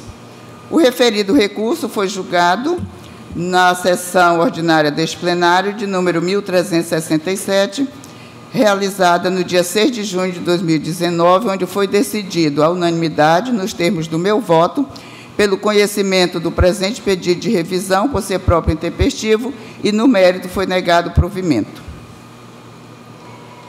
O gestor Romualdo de Souza Araújo foi notificado da decisão proferida no acordo hora embargado por meio do Diário Eletrônico de Contas de número 1169, de 27 de agosto de 2019. Insatisfeito com o conteúdo referido ao acordo, protocolizou o presente recurso em 9 de setembro de 2019. Em suas razões, nos documentos de folhas de 2 a 8 dos presentes autos, o recorrente alega, faz suas alegações e o Ministério Público de Contas se manifestou por meio do seu procurador, João Isidro de Melo Neto, as folhas de 15 a 20. É o relatório, senhor presidente. Com a palavra, Sua Excelência, o procurador, para a sua manifestação. Obrigado, senhor presidente. Os presentes embargos foram propostos pelo senhor Romualdo de Souza Araújo, através de advogado regularmente constituído, em face do acordo no TCA número 11.299-2019 plenário, ter mantido a condenação imposta pelo acordo 2148-2018 segunda Câmara, no valor de R$ 3.570, em virtude da omissão no encaminhamento ao LICOM deste tribunal de uma inexigibilidade de licitação, uma ata de adesão de registro de preço e oito contratos. Inicialmente, observa-se que o presente feito não foi objeto de encaminhamento à área técnica deste tribunal para manifestação conclusiva a seu cargo. Nesse sentido, dispõe o artigo 34 da Lei Orgânica deste tribunal, combinado com o artigo 1 da Resolução TCA número 58/2005, o seguinte: as inspetorias gerais de controle externo terão a seu cargo o exame das demonstrações contábeis das unidades administrativas dos poderes legislativo, executivo e judiciário, a instrução dos processos, o julgamento da regularidade das contas dos administradores e demais responsáveis, bem como a realização das inspeções julgadas necessárias pelo Tribunal de Contas. Competindo, artigo 1 a Inspetoria Geral de Controle Externo por ocasião da instrução processual, de que trata o capítulo do artigo 34 da Lei Orgânica desse Tribunal, promover análise conclusiva propondo as medidas que entender cabíveis. Observe-se ainda que, diferentemente do que ocorre no processo comum, que tramita perante o Poder Judiciário, onde estão segregadas as funções investigatórias das funções julgadoras, nas Cortes de Contas, essas funções são exercidas no mesmo procedimento, conduzido pelo conselheiro relator e julgado pelo plenário. Explicitando esse procedimento, Odilon Cavalieri de Oliveira afirma que Nos processos de controle externo, por sua vez, como de regra ocorre nos processos administrativos, não se verifica essa rígida separação entre Estado acusador e Estado juiz, porquanto é o mesmo órgão administrativo quem investiga, acusa, julga e revê os seus julgados. Portanto, tem-se a seguinte situação. A instrução fica a cargo dos analistas de controle externo lotados nas diversas secretarias da atividade fim do tribunal. O parecer do Ministério Público, como o próprio nome indica, é exarado por membro do parquê junto ao tribunal. O julgamento é realizado pelo colegiado competente, Câmara ou plenário. E a revisão dos julgados é feita também pelo colegiado competente, com a peculiaridade de que, nesse caso, a instrução do recurso é elaborada pela Secretaria de Recursos unidade técnica encarregada da instrução de todos aqueles recursos interpostos contra as decisões do TCU, de que, é, que atua como se fosse a segunda instância da instrução técnica. Observe-se, porém, nos termos do artigo 11 da Lei 8.443-92, que é a lei orgânica do TCU, que a instrução do processo está sempre submetida à presidência do relator. Não significa isso dizer que é ele quem realiza a instrução ao relator compete o seu comando processual, determinando, mediante despacho singular, de ofício ou provocação da instrução ou do Ministério Público, o sobrestamento do julgamento, a citação, a audiência dos responsáveis ou outras providências consideradas necessárias ao saneamento dos autos. No entanto, a exceção dos atos de a execução dos atos de instrução compete às unidades técnicas do tribunal por meio dos analistas de controle externo notados. É de se notar, contudo, que a presidência da instrução do processo pelo relator não submete o analista de controle externo em uma relação de subordinação jurídica. No campo das ideias, não há hierarquia. Significa isso dizer que o analista de controle externo tem plena autonomia para defender nos autos as suas ideias, a sua percepção acerca do caso concreto que o processo retrata, observadas, é claro, as regras e os princípios processuais, éticos e de urbanidade aplicável a todos os agentes estatais. A natureza dialética desse processo, desse procedimento, resulta, portanto, de várias manifestações lançadas pelos diversos agentes estatais, analista de controle externo, procuradores, relator, colegiado. E isso, longe de fragilizá-lo, fortalece na medida em que permite o oferecimento de múltiplas opiniões que todos os agentes deveriam é, tiveram, tiveram a respeito do assunto, contribuindo assim para que o tribunal forme convicção mais refletida acerca do caso concreto. Ante o exposto, este Ministério Público de Contas requer preliminarmente o encaminhamento do feito à área técnica competente para o pronunciamento conclusivo a seu cargo, sem prejuízo de nova oitiva deste órgão ministerial para o seu pronunciamento de mérito. Não sendo esse o entendimento do relator nem do plenário, prosseguimos com a manifestação de mérito no estado em que o processo se encontra. Da decisão embargada, podemos extrair que o ora embargante arguiu cerceamento de defesa em razão da ausência de citação formal nos autos do processo recorrido e ausência de lei estrito senso para embasar a penalidade de multa que lhe foi imposta por mera resolução editada pelo tribunal. Em suas razões, na peça vestibular, o embargante alega que o acórdão guerreado contém erros procedimentais, obscuridades e contradições, em face das afirmações listadas a seguir, para as quais, de pronto, ofertamos nossas considerações. 1. Um, a decisão não expôs, de fato, quais motivos ensejaram a aplicação da sanção, a ponto de ser ignorado todos os argumentos lançados no recurso, quais sejam a ausência de citação formal nos autos do processo recorrido, que implica em cerceamento e defesa, e a ausência de lei estrito senso para embasar a penalidade de multa que lhe foi imposta por mera resolução adotada por este tribunal. Em verdade, como já se viu do relatório acima, estes são exatamente os mesmos argumentos de mérito que o embargante arguiu nos autos do processo recorrido e agora está reiterando sob o manto de embargo de declaração. No entanto, como se observa do parecer ministerial e do voto da conselheira relatora à época, nos autos do processo em apenso, 1. Um, houve citação formal por meio do Diário Eletrônico de Contas número 855, de 9 de maio de 2018, tendo inclusive o gestor pedido e, se, e, e, e foi atendido com pedido de prorrogação de prazo, das folhas 17 para 18 daqueles autos.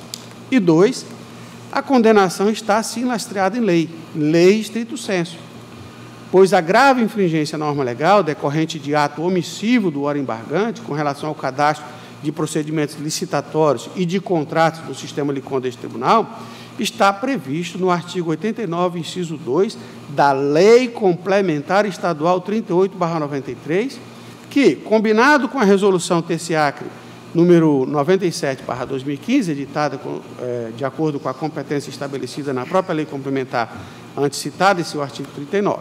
Então, a lei formal. Dois, é,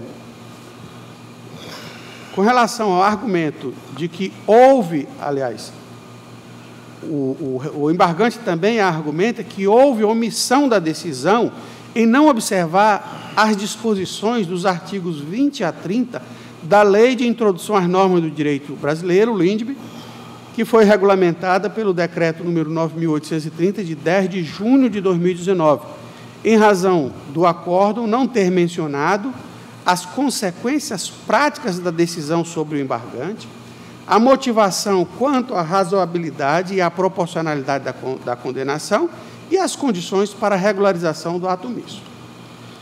Quanto a, essa, a esse argumento, é necessário observar, inicialmente, que a norma invocada, ou seja, os artigos da LINDB, teve sua regulamentação ocorrida somente em 10 de junho de 2019, data posterior à decisão embargada, portanto, inaplicável ao caso concreto, por força do princípio tempus rege actum. O ato é regido pela lei do seu tempo. Se não haver regulamentação, não estava em eficácia plena, então não poderia ser é, aplicada.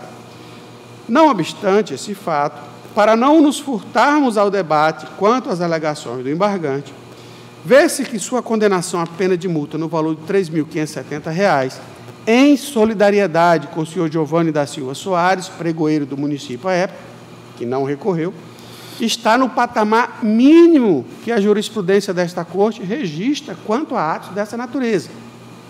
Além disso, não há nenhuma alegação do embargante quanto à sua impossibilidade de arcar com o ônus dessa condenação. Por fim, este se faz representar nos presentes embargos por advogado particular, desde o processo recorrido, inclusive. Esse advogado já constava lá. O que demonstra a sua capacidade financeira para o adimplemento de uma condenação de R$ 3.570. Quanto às condições para regularização do ato omisso, consta da decisão guerreada, item 2 do acordo recorrido, a fixação do prazo de 30 dias para que o gestor normalizasse o envio das informações ao sistema LICOM deste tribunal. Finalmente, ele argumenta a ausência de dolo na, sua conduta. Inicialmente, é necessário pontuar que os embargos de declaração no âmbito deste tribunal visam somente subir, é, suprir eventual obscuridade, contradição, dúvida ou omissão do aresto recorrido. Em caso, o embargante alega circunstância ligada ao elemento volitivo de sua conduta, que é o dolo. No caso, ausência de dolo. Que além de ser matéria restrita ao mérito e não a embargos, porque o embargo é vinculado a essa, essas situações, o dolo não tem repercussão no âmbito deste tribunal, onde a configuração das infrações se dá por mera conduta seja esta comissiva ou omissiva. O dolo é, sim, observado no âmbito penal, quando a lei assim o exige, para configurar o ato típico, o elemento típico, não para fins administrativos. Ante todo exposto, observa-se que os presentes embargos têm o nítido intento de dificultar, retardar ou tornar ineficaz o exercício das competências constitucionais por parte de, deste tribunal, mediante reiteração de teses já apreciadas, invocação de normativos regulamentados após a aprovação da decisão recorrida e arguição de teses de mérito em sede de embargo de declaração, o que demonstra, sim, nesse caso, o dolo do embargante em propor embargos com intuitos meramente protelatórios. Ante o exposto, este Ministério Público de Contas opina: 1. Um, pela total improcedência dos presentes embargos, mantendo-se in a decisão embargada por seus próprios fundamentos, e dois, pela condenação do embargante ao pagamento de multa dosada a critério do plenário, com base no parágrafo 2 do artigo 1026 do Código de Processo Civil, de aplicação subsidiária nos termos da previsão incerta no artigo 172 do Regimento Interno Local, em face do caráter meramente protelatório dos presentes embargos. Além dessa previsão no Código Civil, é, relata-se também que a jurisprudência do Tribunal de Contas do, da União, de que é exemplo o processo número 3, 743, 2011, dígito 9, também já aplica multa ao embargante que o faz com natureza meramente protelatória. Este é o parecer, senhor presidente, senhoras e senhores conselheiros. Obrigado, nobre, procurador. Com a palavra, Sua Excelência, relatora, para o seu voto. Obrigada, senhor presidente. Então, esse também é o nosso entendimento. Só deixamos de acatar preliminar, de enviar o processo, retornar, de enviar o processo para instrução na DAFO, porque já temos esse entendimento e outras decisões aqui de que o, o relator né, pode decidir, e também considerando de que o recurso não trouxe nenhum fato novo a ser examinado e que o Ministério Público, como bem apresentou aqui o procurador, já fez a análise de, de mérito que nós acompanhamos esse entendimento. Então, pelas alegações suscitadas, verifico que o recorrente pretende através do embargo de declaração, produzir efeitos infringentes sobre a decisão embargada, não sendo esta a via adequada para a obtenção dos efeitos modificativos.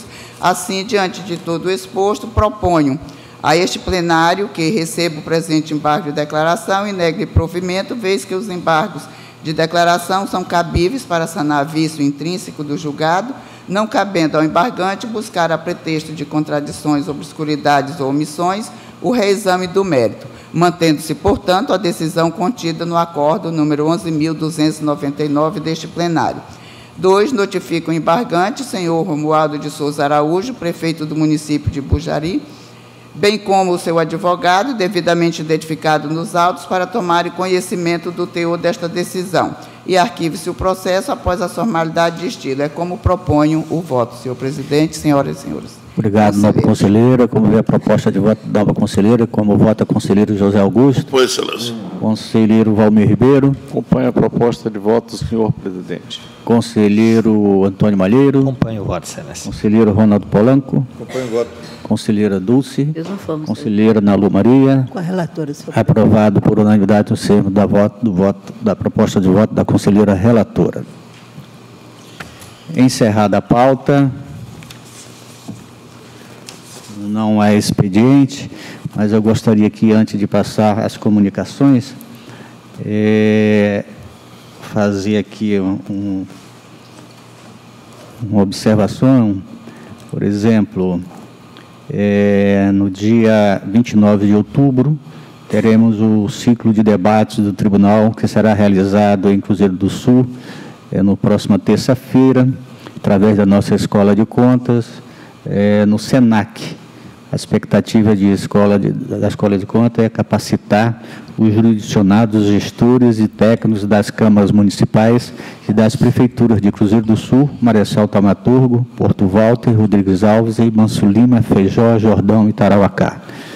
Então, nós temos dia 29 em Cruzeiro do Sul, nossos técnicos, conselheiros, conselheiras, procuradores, e em Cruzeiro do Sul, então eu sinto falta que esse amigo de vocês não pode, não vai poder estar com vocês na cidade maravilhosa de Cruzeiro do Sul.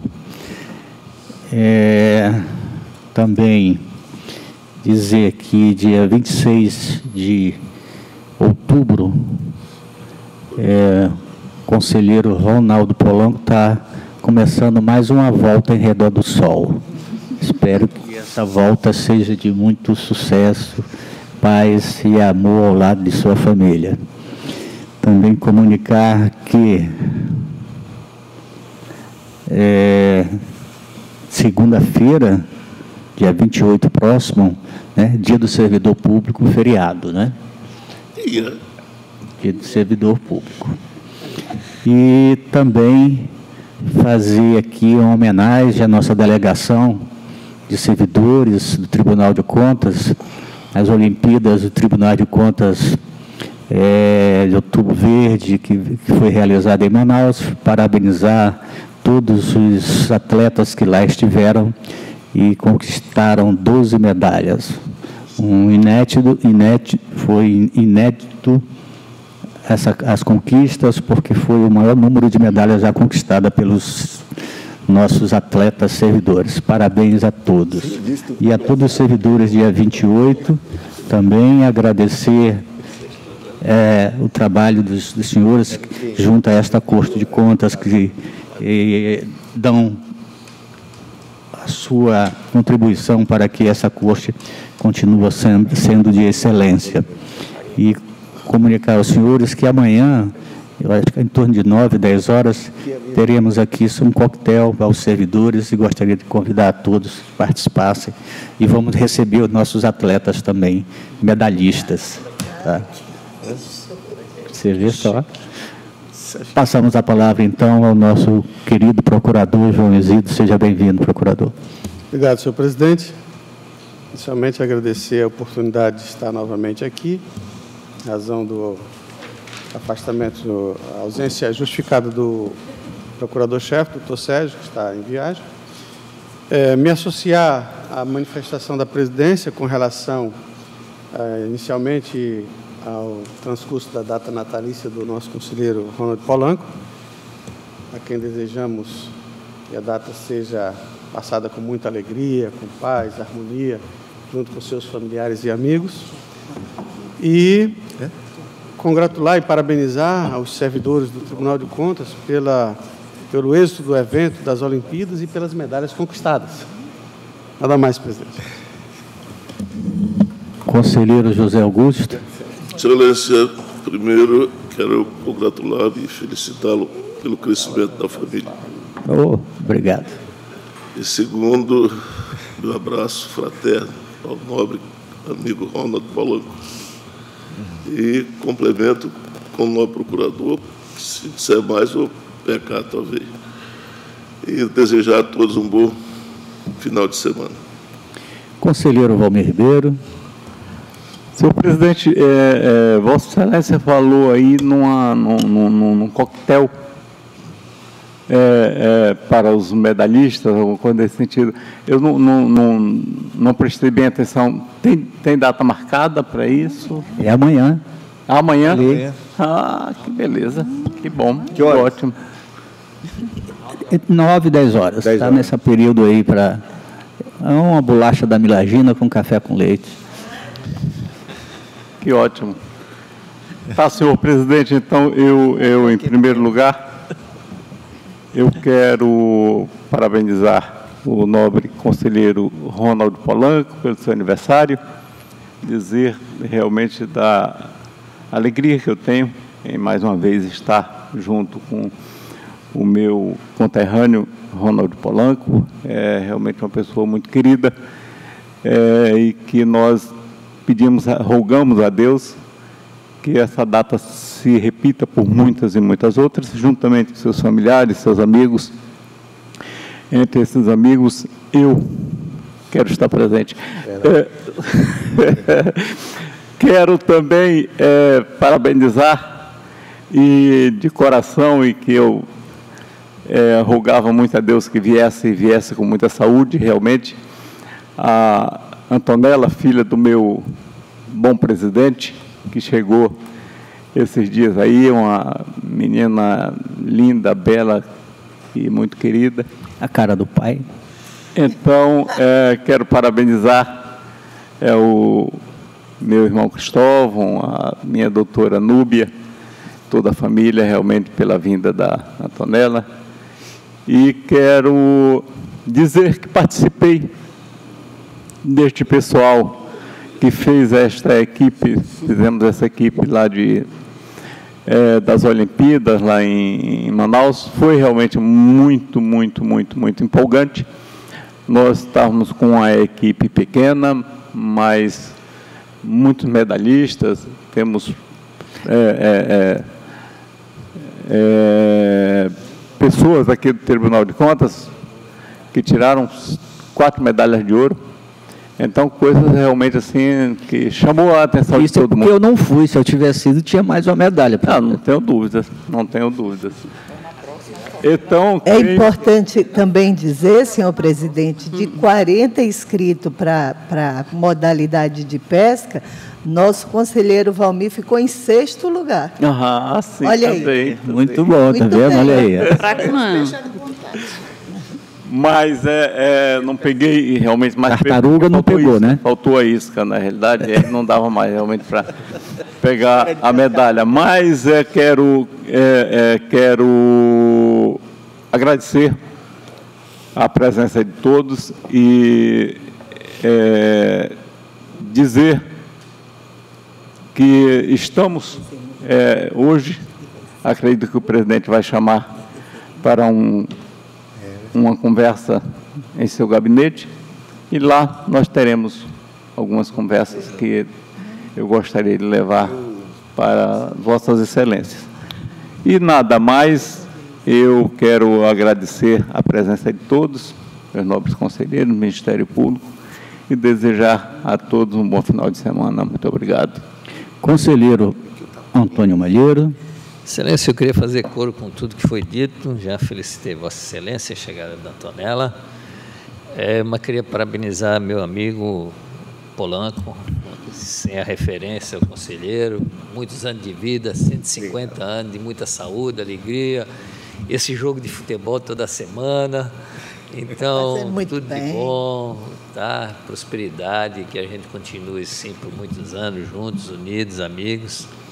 Queria agradecer a presença de todos, nada mais a comunicar, Excelência. Conselheira Dulce. Da mesma forma, Excelência, também dizer para o meu amigo Polanco que ele continue sendo essa pessoa de grande relevância social, esse grande homem que ele é, não é? Não só na sua família, mas em toda a coletividade. E que ele receba muita saúde da parte de Deus e a sua família seja abençoada. Também eh, já expressei é, a minha alegria ao conselheiro Antônio Cristóvão pela chegada da linda Antonella, né, e que ela seja realmente muito abençoada por Deus com muita saúde. Também me associar a todas as manifestações nos demais temas, agradecer a todos e desejar um bom dia, Excelência. Conselheira Maria Nalu Maria. Eu também quero parabenizar o, o, o conselheiro Polanco, um amigo que eu tenho de muitos anos, muitos anos mesmo. E, e dizer que ele foi, já esse ano ele foi, ele teve um maior presente que alguém pode ter, que agora é vovô, é o Henrico. Lindo. É o Genserico. É o Genserico, não, o Henrico. E da, Ra, da Rafaela, que Deus a proteja e proteja também todos. E também, esse ano foi um, ano fértil para o Tribunal de Contas. E a Antonella, linda, bochechuda, querida, um beijo grande na Núbia, que Deus a proteja nesse momento de recuperação. E parabenizo o Cristóvão. Deve ser uma experiência maravilhosa ser pai em várias etapas da vida. Essa é, é um, deve ser uma, um, criança é sempre bem-vindo, né? Eu acho criança uma coisa muito Vai querida. Vai ser comandado. É, é muito gostoso. E parabenizar os medalhistas, né, daqui do, do Tribunal de Contas. Se Deus quiser, eu ainda quero ir. Eu quero ir na modalidade da pesca. É, se Deus quiser, combinando aqui com Polanca. Polanca, no que vem é no mar. Eu nunca pesquei no mar, vou pescar no mar. Vamos ver, pode ser que dê um enjoo danado Sem isca lá. de real, hein? é isso mesmo. Então, parabenizar a todos, a todos os servidores do Estado do Acre, a nossos servidores aqui do, do Tribunal de Contas, é, e que a gente possa ter um encontro bacana. É, a gente tem tá, a equipe toda está muito imbuída, a sua equipe, é, presidente, tem ajudado demais, todo mundo está muito ajudando bastante a escola e só tenho a agradecer a toda a equipe. Obrigada. Obrigado, conselheira Ana Lu. Conselheira Maria de Jesus. Obrigada, Excelência, também. São tantas felicitações, né? E eu quero que fazer coro a todas elas, desejando muita saúde e felicidade ao conselheiro Polanco, a Antonella, no dia da, que a Antonella nasceu, e no dia seguinte nós estarmos aqui, todos nós já nos manifest, manifestamos a nossa alegria pela vinda da Antonella e desejamos que ela traga realmente muita alegria e muita luz à sua família. Também aos medalhistas, né, parabenizando pelo sucesso na, nas Olimpíadas. E cumprimentar a todos os presentes, né, nada, nada a comunicar. É, obrigado pelas palavras dos senhores, das senhoras. É, cumprimentar meu amigo Polanco, já pela passagem do seu aniversário, dia 26. Eu não esqueço nunca, Paulão, que é o mesmo dia do aniversário do meu filho, também, dia 26 agora de outubro. Então, depois de 22 anos do meu filho, veio uma filha agora a, a alegrar mais a minha vida, depois de 18 anos tentando, né? Mas não foi por falta de tentativa, não, né? É porque tínhamos problemas com a, com a, a, a genitura, né? Ela tinha problema de saúde, já per, tinha perdido já três filhos nesses 18 anos e Deus nos engrandeceu agora com a vinda da Antonella. Então estamos muito felizes que ela veio com muita saúde, se Deus quiser, vai nos alegrar muito. Eu agradeço a palavra de todos.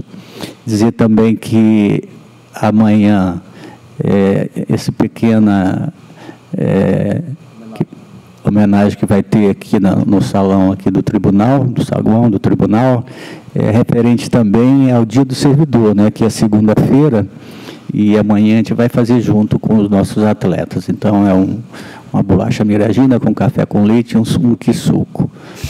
E também, como hoje vocês perceberam, eu vi com uma gravata rosa, né? Lembrar todas as mulheres, jovens mulheres e senhoras que não esqueça do Outubro Rosa, fazer o seu autoexame de mama, que é muito importante, que é uma doença traiçoeira, e o autoexame das nossas servidoras, das mamães, sejam feitas. Então, é, agradeço a todos e convoco uma reunião na sala da presidência. Encerrada a sessão, convoco uma paradinha e hora regimental.